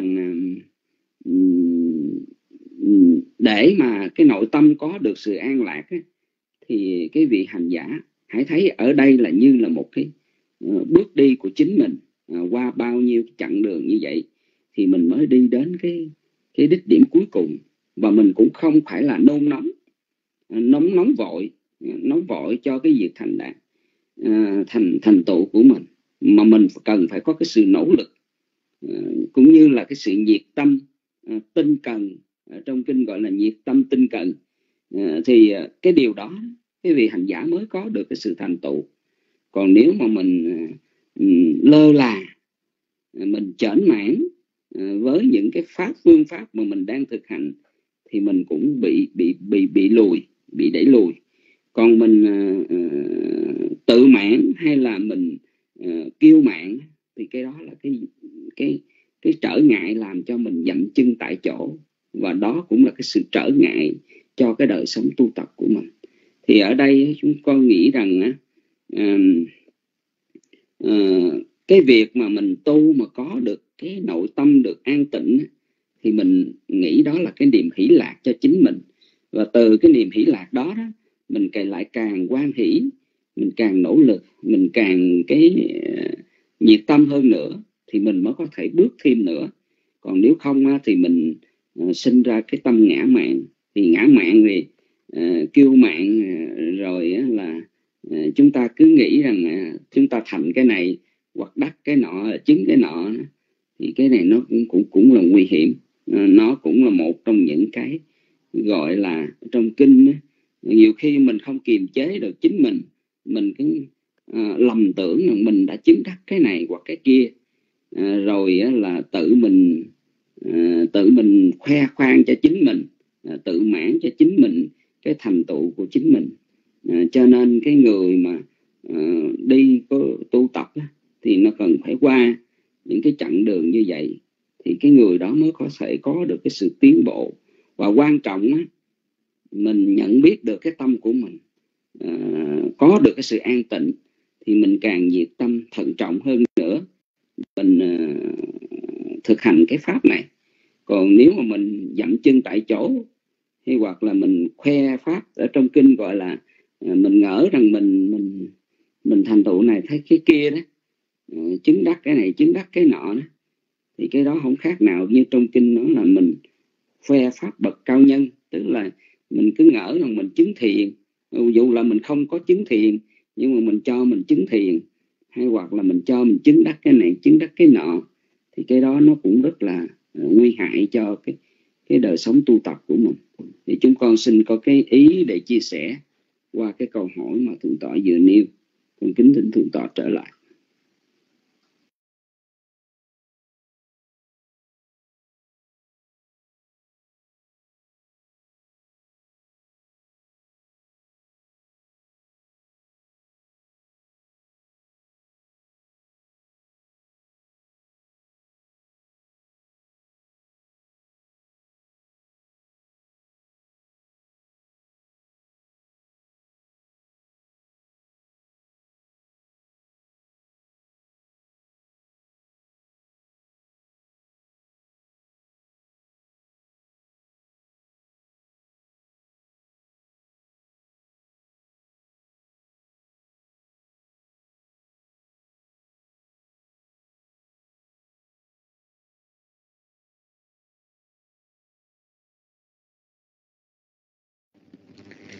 Chúng ta chúng ta cái quyền tập công tập có mấy trăm mấy tập tập cũng nghe đến nghe được không nhớ nhớ tập tự nguyện được chúng ta chúng ta tự nguyện chúng ta hãy chúng ta hãy niệm khi niệm cũng vậy khi giác chi là là là yếu tố yếu tố để cái kinh cái kinh thời giác thời giác thời giác thời giác trí tuệ giác ngộ thì trong cái trong rất có niệm cái gì giác chi là giác tham giác chi cần cần gì gì gì chi cần gì cần gì chi gì chi gì xả gì xả giác chi nhưng mà nếu như mình nếu mình phải pháp niệm được quân được quân được cái này cái này sự hiện tại sự nhận quyền có biết thì có biết này pháp này giúp trợ được để cho cho cái trí tuệ trí tuệ chúng ta chúng ta không có nhiều ví dụ trí tuệ trí tuệ cái cái cái tuệ trong việc là là mình có được. Xin xin cái ý kiến của chúng ta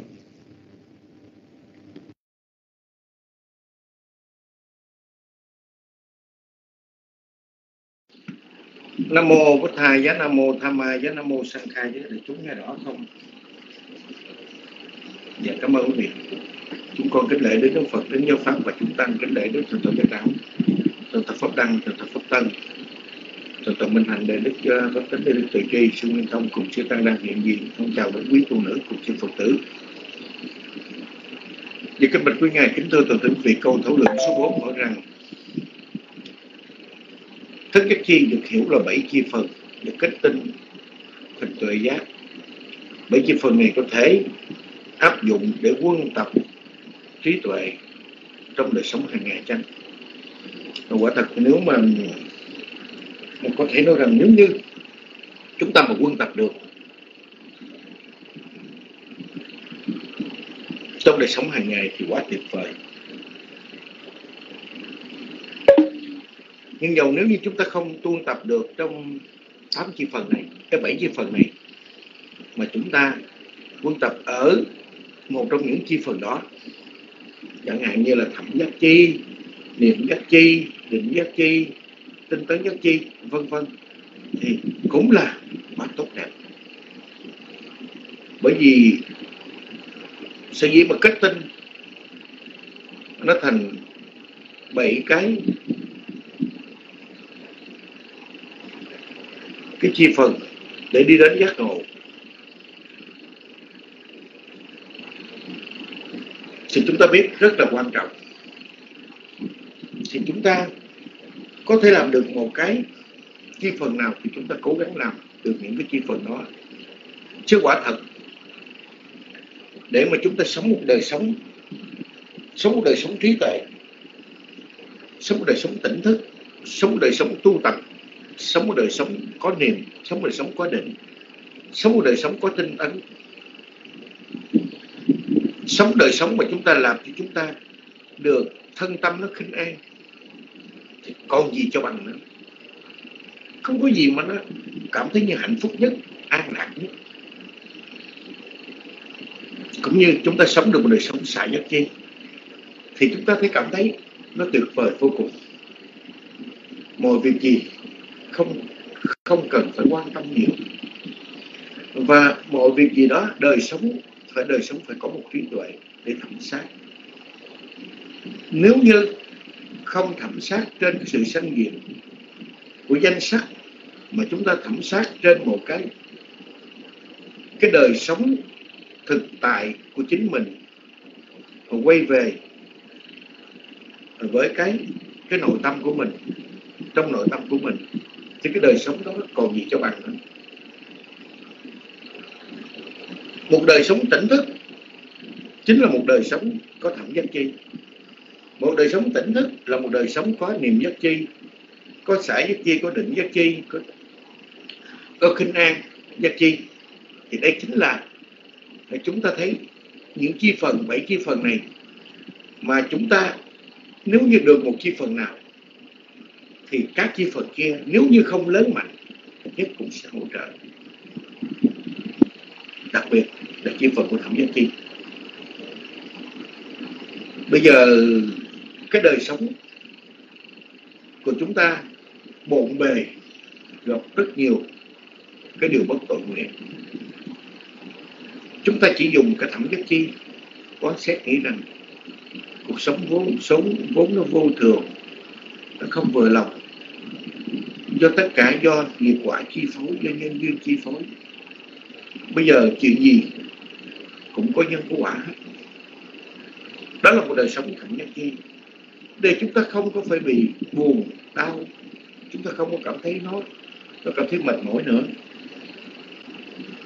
Và chuyện gì mà không vừa lòng cảm thọ khổ cảm thọ bất an thì chúng ta cho nó qua. Hãy giữ cho tâm mình nó nhẹ nhàng, nó yên vui nó tốt đẹp. Có định, có niệm, có xả, có tình, có khinh an. Việc gì rồi cũng đi qua.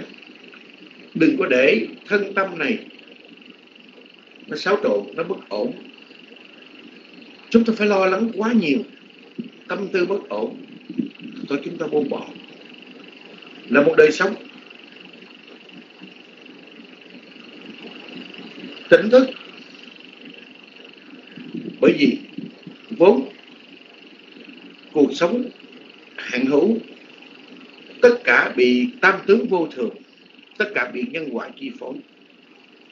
Sống biết theo nhân quả, sống biết theo cái sự sanh sự diệt của của các pháp.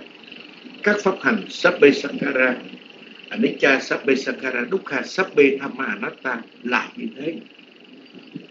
Thì khi chúng ta có cái sự suy quán như vậy từ trên thẩm giác chi đó thì đây cũng chính là chúng ta sống đang sống trong trong cái đời sống trí tuệ trong đời sống thẩm giác chi trong cái đời sống của, của tỉnh thức. Và đó cũng chính là chúng ta đang thực hành cái lời dạy của Phật, cái sự tu tập một cách tốt đẹp nhất. Chứ còn chính thưa quý vị, hãy buông bỏ nhẹ nhàng, hãy tự quay về với chính mình.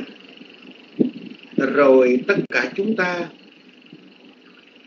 một mình đến đây cũng một mình ra đi. Một mình chịu với tích tất cả những buồn vui, những đau khổ gì cho cuộc đời hôm nay và cũng như cuộc đời của mai sau vì vậy cho nên tất cả chúng ta có đời sống tỉnh thức, có đời sống thẩm giác chi, thì xem như chúng ta sẽ có một đời sống tốt đẹp, một sự tu tập. Chứa đựng toàn bộ cái yếu tố bảy bảy, sáu chi phần còn lại của các chi phần. Nhưng điều này không phải là đơn giản. Nhưng chúng ta tập sống một đời sống tỉnh thức. Hiểu biết làm cho tâm của mình khởi sinh lên những thiện pháp nhiều hơn là ác pháp. Làm cho tâm của mình có giá trị tích cực, không có tiêu cực. Làm cho tâm của mình ờ, có một trạng thái nhẹ nhàng, chan hòa, buông bỏ và để cho thân tâm này được yên vui, được khỏe mạnh. Và chính bình thường đó, đây chính là đôi điều của con trình bày như vậy. Nếu có gì cần túc thì kính không thể ngài cùng chư tôn đức tăng nam mô bổn thà giá.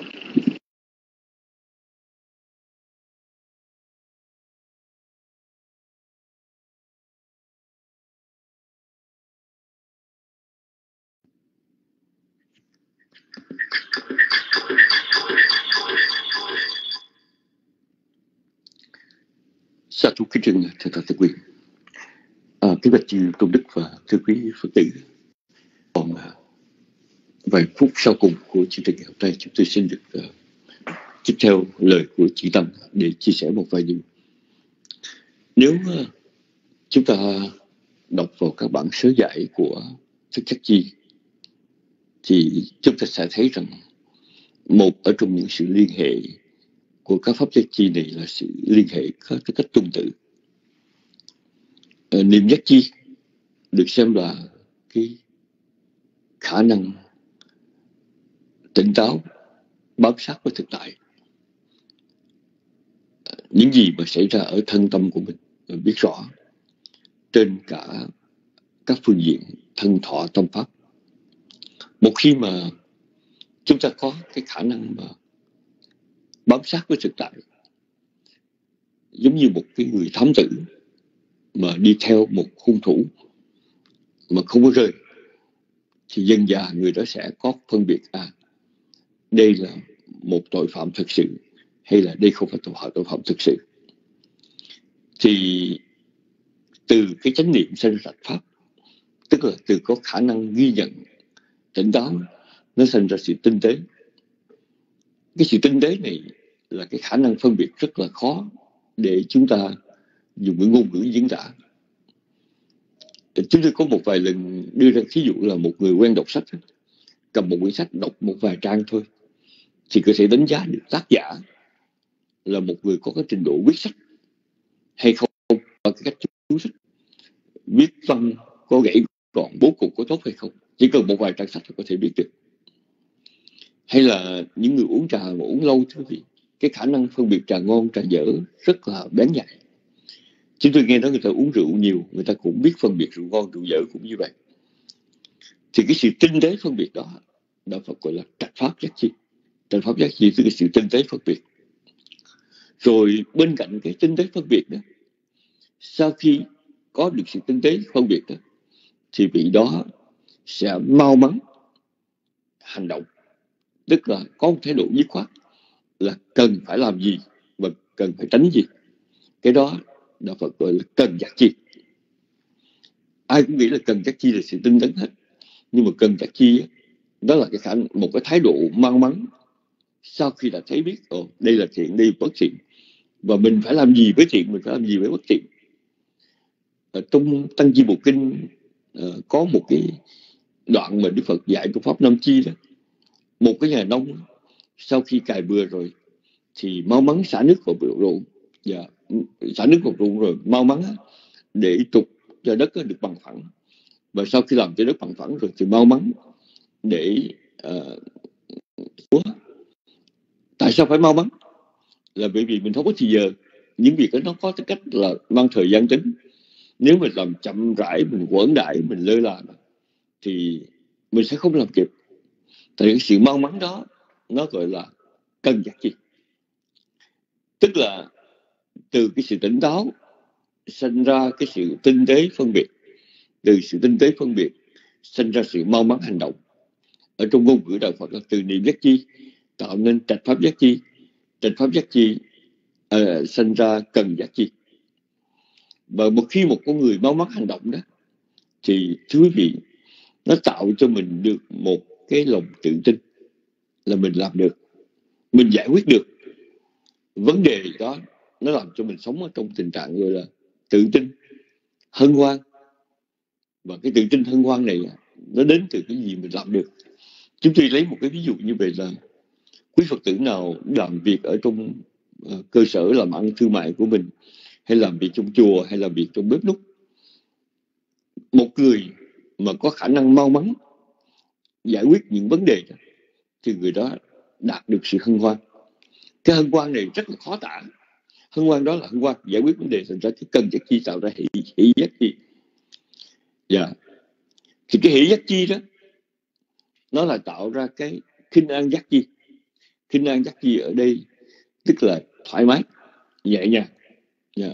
ví dụ như là quý vị mượn tiền credit card quý vị trả hết ở credit card hay là quý vị thấy trong bếp nó lôi thôi mà mình dọn sạch rồi thì cảm thấy thoải mái cái đó là khinh an đó là sự nhẹ nhàng. Có khi của tình giác chi.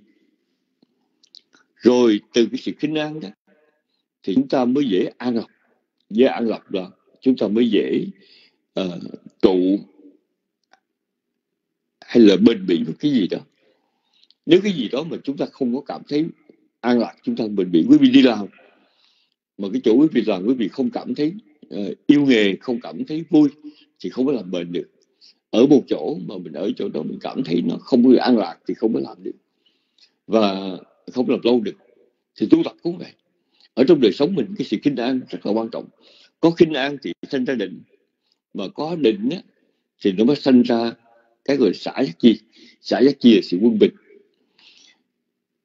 Chúng tôi có cái kinh nghiệm này, thưa quý vị. Ngày xưa mà khi mà chúng tôi chưa mua được cái cơ sở chùa pháp luân chúng tôi đi xe chỗ này chỗ kia, chúng tôi gặp các cái cơ sở mà họ bán như là nhà cửa hay nhà thờ đó, thì chúng tôi hay coi. Coi để làm gì? Để mình coi có là thích hợp mình dời chùa. Nhưng một khi mình đã dời chùa rồi, đã xây chùa rồi, và mình không còn có cái ý mình muốn đi tìm chỗ thì mình rất là dững nhân với những chuyện đó. Tại vì sao vậy? Tại vì mình đã có cái cơ sở rồi đâu cần gì phải uh, phải nghĩ tới như lưu hoài. Thì cái tịnh giác chi nó sinh ra xả giác chi. Tức là một khi mà con người chúng ta đã có được sự an lạc thì nó sẽ tạo nên một sự quân bình là nó không còn có sự dao động hay là chi phối bởi ờ, uh, thế này mà nó đạt đến sự an nhiên. Ờ, uh, sự an nhiên này nó nó là một cái kết quả tự nhiên của tịnh giác của định giác chi. Do vậy khi mà chúng ta nói rằng niệm giác chi đó là một chi phần thì niệm giác chi thì kiểu là sự tỉnh táo bám sát với thực tại. Và do tỉnh táo bám sát thực tại nên chúng ta tạo được cái khả năng và khả năng phân biệt hay là sự tinh tế. Sự tinh tế này Phật pháp gọi là trạch thoát giác chi. Sự tinh tế này nó khiến cho chúng ta mau mắn hành động, mau mắn phản ứng, mau mắn giải quyết. Cái sự mau mắn giải quyết đó là cần giặc chi và sau cái mau mắn giải quyết đó, thì chúng ta được cái lòng tự tin, khoan hỷ, gọi là hỷ giác chi, sự hân hoan, thoải mái thoải mái trong sự tu tập. Và sau hỷ giác chi đó đạt đến khinh an giác chi, sự hân hoan dẫn đến nhẹ nhàng. Và cái sự nhẹ nhàng thì dẫn đến sự an lạc. Ý muốn nói là hỷ giác chi tạo ra kinh năng giác chi, kinh năng giác chi tạo ra định giác chi. Và định giác chi sẽ tạo ra một cái sự vững vàng, không có dao động, an nhiên gọi là xã giác chi. Thì bảy yếu tố này đều bắt nguồn tự nhiên từ cái niệm giác chi. Và niệm giác chi đủ mạnh, đủ bền thì nó sẽ có một cái hiệu ứng dây chuyền và nó tạo nên uh, từ niệm tạo ra trạch pháp pháp tạo ra uh, cần cần tạo ra hỷ hỷ tạo ra kinh an kinh an tạo ra uh, định định tạo ra xã giác gì và khi bảy yếu tố này mà đều đã được đi qua và nó kết hợp nó kết tinh lại đó thì thứ vị nó tạo ra một cái gọi là tuệ giác. Chúng tôi lấy ví dụ như là mình đi học. Thì lúc mình đi học mình học mình vô đầu khóa trường học. Chapter 1, 2, 3, 4, 5, 6 gì đó. Nhưng mà khi cuối khóa đó thì mình vận dụng kiến thức của tất cả sự hiểu biết từ chapter 1 cho đến chapter thứ bảy luôn. Thí dụ yeah, có 7 chapter mình tận dụng hết khi mình đi thi. Thì tương tự như vậy. Khi mà ở đoạn cuối cùng của cái mà mình đã thành tựu được xã giác chi rồi thì niệm trạch pháp cần hỷ khinh an định xả giác chi, đều được khai triển đầy đủ. Và khi mà cả những pháp này khai triển đầy đủ, thì nó kết tinh lại thành một cái gọi là trí tuệ. Ở đây quý vị, nhiều khi chúng ta nghĩ đến trí trí tuệ như là một sự vận dụng. Và vận dụng, ai nói gì đó, thì mình vận dụng cái đầu suy nghĩ hay làm sao mà mình mình vận dụng cái cái trí tuệ của mình? Nhưng mà với người tu tập thì không không có vận dụng kiểu đó. Và tại đôi khi mình muốn vận dụng cái trí tuệ, không vận dụng không được. Nhưng mà chúng ta nhớ là trí tuệ nó đến từ nhiều cái điều kiện. Chánh niệm là một yếu tố. Chánh niệm là gì? Chánh niệm là khả năng quan sát, bám sát với thực tại một cách một cách hào nhiên, một cách tự nhiên, chứ không có gượng gạo và từ chỗ này tạo ra những pháp khác. Và do vậy ờ, đây là một bài học rất là quan trọng. Khi nào trong cuộc sống của mình, thưa quý vị, nó có những cái kinh nghiệm mà làm cho chúng ta sanh trí tuệ. Ví dụ như mình đi cả ngày nó mệt mồ hôi, mình suy nghĩ chuyện không tốt, mình tắm khi tắm xong nó sạch thì những người nó khỏe. Và khi nó khỏe đó, mình cảm thấy rằng người mình nó sáng ra. Hay hoặc giả là những lúc đời sống mình đó, nó bận tâm bận trí uh, ờ, thì nó không có được cái uh, cái sự minh mẫn. Nhưng mà bây giờ tự nhiên mình sống ở trong trạng thái nhẹ nhàng nhẹ nhàng bị trút được cái nặng nợ nần nhẹ nhàng bị uh, dứt trừ được một cái phiền não nào đó nhẹ nhàng thì tự nhiên người mình có sáng sáng ra. Tại đó là sự kinh an hoặc giả là có nhiều khi trí tuệ là do mình bám sát với cái gì đó rất lâu gọi là định quý vị thấy quý vị đi làm ban đầu mình làm á thì mình thấy không có gì nhưng mà mình làm việc đó hoài rất mình thạo tay và khi mình thành tạo thành thạo thì mình trở nên rất là uh, rất là xuất sắc. Dạ yeah. đó là từ cái từ cái định đó nó tạo ra cái mà chúng ta gọi là sự an nhiên. Uh, nó cũng là một sự kết tinh của trí tuệ. Thành bảy yếu tố niệm trạch pháp cần hỷ uh, khinh an định xạ tất cả những trạng thái này thì thứ gì đều là những yếu tố trực tiếp gián tiếp để tạo nên trí tuệ. Mà con người chúng ta ít nghĩ đến điểm này lắm. À, chúng ta rất ít nghĩ tại vì sao vậy?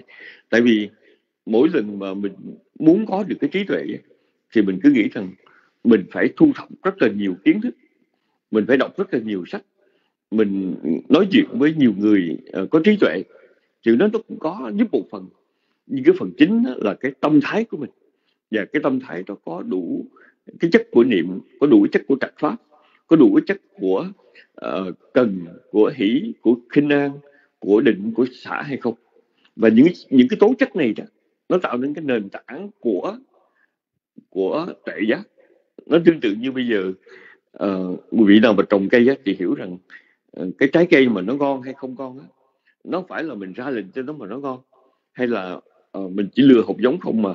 Nó cần đến phân cần đến nước cần đến thời tiết nó cần đến cách chăm sóc. Yeah. Dạ, chúng tôi có một cái uh, uh, chúng tôi có quen với một một uh, một bác trồng mít ở bên Florida. Uh, bác này có một điểm bác chia sẻ với chúng tôi rằng uh, cây mít các những cây khác và cây khác nó ra trái mình không có kiểm soát được. Nhưng mà cây mít của bác nó ra rất là nhiều trái nhưng mà nếu bác không cắt bớt mít non á, thì nó nhiều trái quá nó làm cho không trái nào ngon thực sự hết. Tại vì nó quá nhiều đi. Do đó khi mít nó vừa ra thì nó ra từ dốt cái mít của bác có khi chúng tôi đếm cả trăm trái vậy đó. Thì bác hái đi một số mít non để tạo ra cái không gian trống và cái mít nó không phải nuôi quá nhiều trái. Và do đó những cái trái còn lại đó nó sẽ lớn và nó sẽ ngon hơn.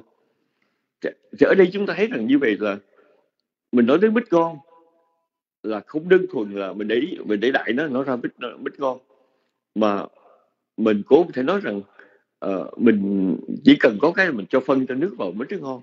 Mà đôi khi nó cũng còn có những việc làm ví dụ cắt bớt trái nó nhiều quá mình mình cắt bớt đi cái đó cũng là một cách dạ yeah, nó cũng là một cách. Nên chi uh, cái điểm mà khi mà chúng ta học vào Phật pháp đó, ờ, thì chúng ta thấy rằng uh, Ờ, con người mình mà muốn thành tựu tuệ giác hay là muốn có một cái trí tuệ sáng suốt không đơn thuần là mình nặng đầu ra mình suy nghĩ mà đôi khi thưa quý vị dạ, cần một chút tâm thanh thản cần cái khả năng quan sát lắng nghe cần cái sự hân hoan cần cái sự nhẹ nhàng.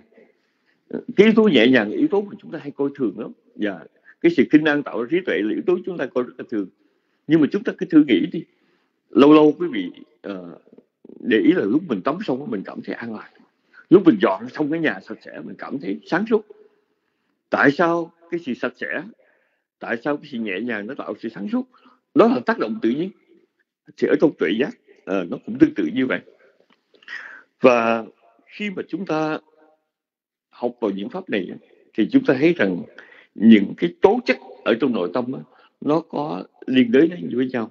Chứ không phải là niệm là niệm trạch pháp là trạch pháp. Ờ, hỷ là hỷ, định là định, không có như vậy. Mà nó có tác động và đôi khi nó có cái tác động gì mà à, chúng ta không để ý. Và do vậy à, à, có một lần chúng tôi nghe có một một cái một một bài nói chuyện ở trên truyền hình. Trong đó có một một chuyên gia nói về đời sống an lạc của những người có gia đình vị chuyên gia đó nói rằng uh, bây giờ cho vị này bắt đầu từ cái bữa cơm của gia đình bữa cơm tối của gia đình. Và yeah. uh, vị này nói rằng một ở trong những nơi mà một người đàn ông một người đàn bà nên tập trung để mang lại cái an lạc trong gia đình đó là bữa cơm tối của vợ chồng con cái. Có nhiều người nghĩ rằng ô chỉ cần đi làm ra tiền uh, chỉ cần uh, lo cho con học hành chỉ cần thế này kia. Nhưng mà nếu họ có một bữa cơm tối ấm cúng tức là mọi người có thể thân thiện với nhau mọi người có thể quay quần với nhau có thể chia sẻ trả lẫn nhau thì từ chỗ đó uh, chồng và vợ được ấm cúng hơn. Và ừ, cha mẹ đối với con cái là có sống với nhau có sự liên đới nhiều hơn. Và nhờ như vậy đó nó sẽ uh, tác động một cách tích cực đến nhiều phương diện khác. Thì có cái mấu chốt nào đó mà chúng ta sẽ nắm thì cái mấu chốt Đức Phật dạy ở tại đây là niệm giác chi. Dạ yeah. niệm giác chi bắt đầu là ở đâu bắt đầu là sự tỉnh táo bám sát với thực tại. Một người mà muốn quân tập thiện pháp và đặc biệt là muốn quân tập trí tuệ mà mình không có khả năng và và uh, get in touch with reality tức là uh, là là là tiếp xúc với thực tại và tiếp xúc một cách rõ ràng một cách uh, gắn bó một cách tỉnh táo thì những thứ khác đó, nó sẽ không sinh khởi được dễ dàng có bám sát được với thực tại thì chúng ta mới có đủ sự tinh tế. Có được sự tinh tế để phân biệt thì chúng ta mới mau mắn hành động. Có mau mắn hành động thì chúng ta mới đạt được sự hân hoan. Và đạt sự hân hoan đó, thì chúng ta mới đạt được sự nhẹ nhàng. Từ sự nhẹ nhàng mới có cái sự ở bền bỉ. Và từ sự bền bỉ chúng ta mới đạt sự an nhiên. Đó là một cách nói khác của niệm giác chi, tạo nên trạch pháp giác chi. Trạch pháp giác chi tạo nên uh, cần giác chi cần giác chi tạo nên hỷ giác chi. Hỷ giác chi tạo nên khinh năng giác chi. Khinh năng giác chi tạo nên định giác chi. Và định giác chi tạo nên xả giác chi. Và đối với hành giả thì ở tại đây nó cuốn trở về với một cái nền tảng mà chúng ta gọi là gọi là niềm giác chi. Thì đó là vài điều chúng tôi muốn chia sẻ trong bài học ngày hôm nay. Xin ờ, kết thúc chương trình sinh hoạt của room Phật pháp Buddha tại đây. Kính trân chư vị giảng sư đã vào room để thuyết giảng đến liễn quý ngài. Thân chào tạm biệt quý phật tử. Kính chúc tất cả ngày an lành, một đêm an lành. Hẹn gặp lại trong chương trình ngày mai. Nam mô bích thầy dạ.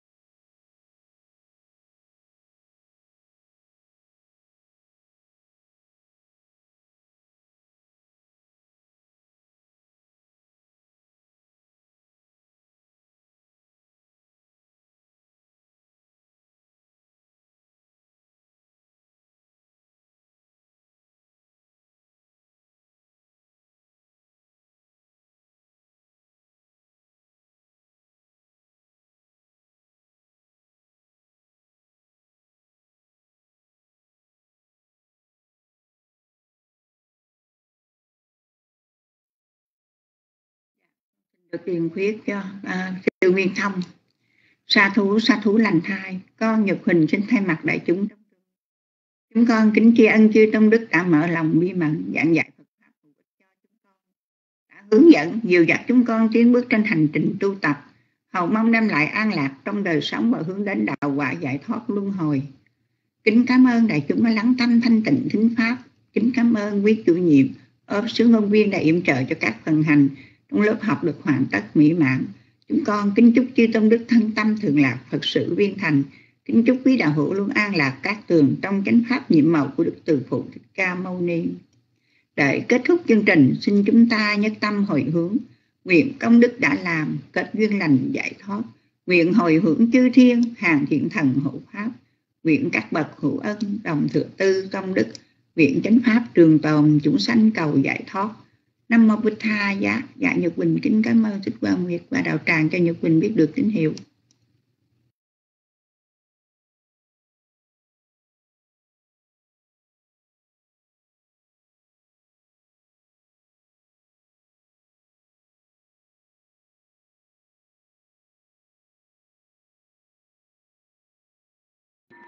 किञ्चित् कुशलकमङ्कापापगिरया मम कायेन वाचा मनसा दिरसे सुखपङ्कपं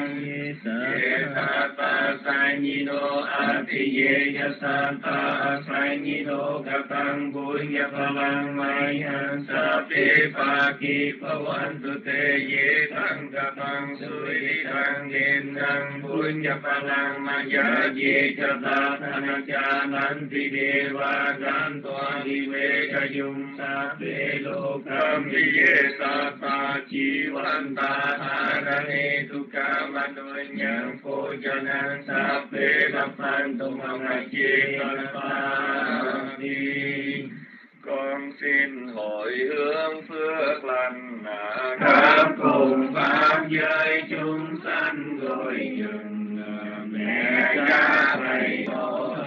nhân hiện tiền quá ban tròn phần phước duyên cầu xin hộ pháp chư thiên phát tâm hoan hỷ bao truyền gần xa cầu cho mưa thuận gió hòa pháp hưng thường kiền nhà nhà an cương chúng sanh ba cõi sao đường do nhớ thần phẩm bảo tồn mạng căn nghiệp lành từ khẩu ý thân hóa thành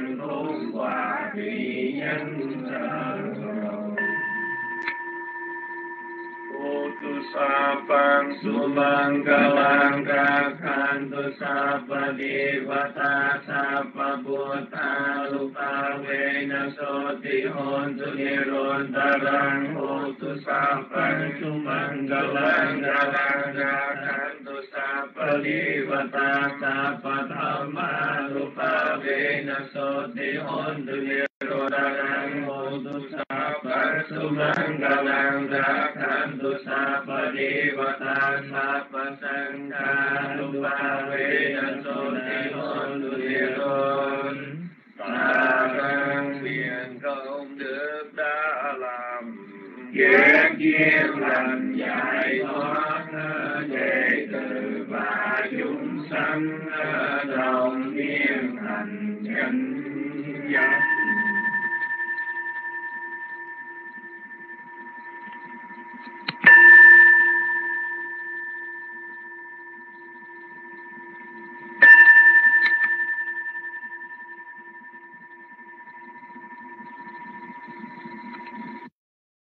よし!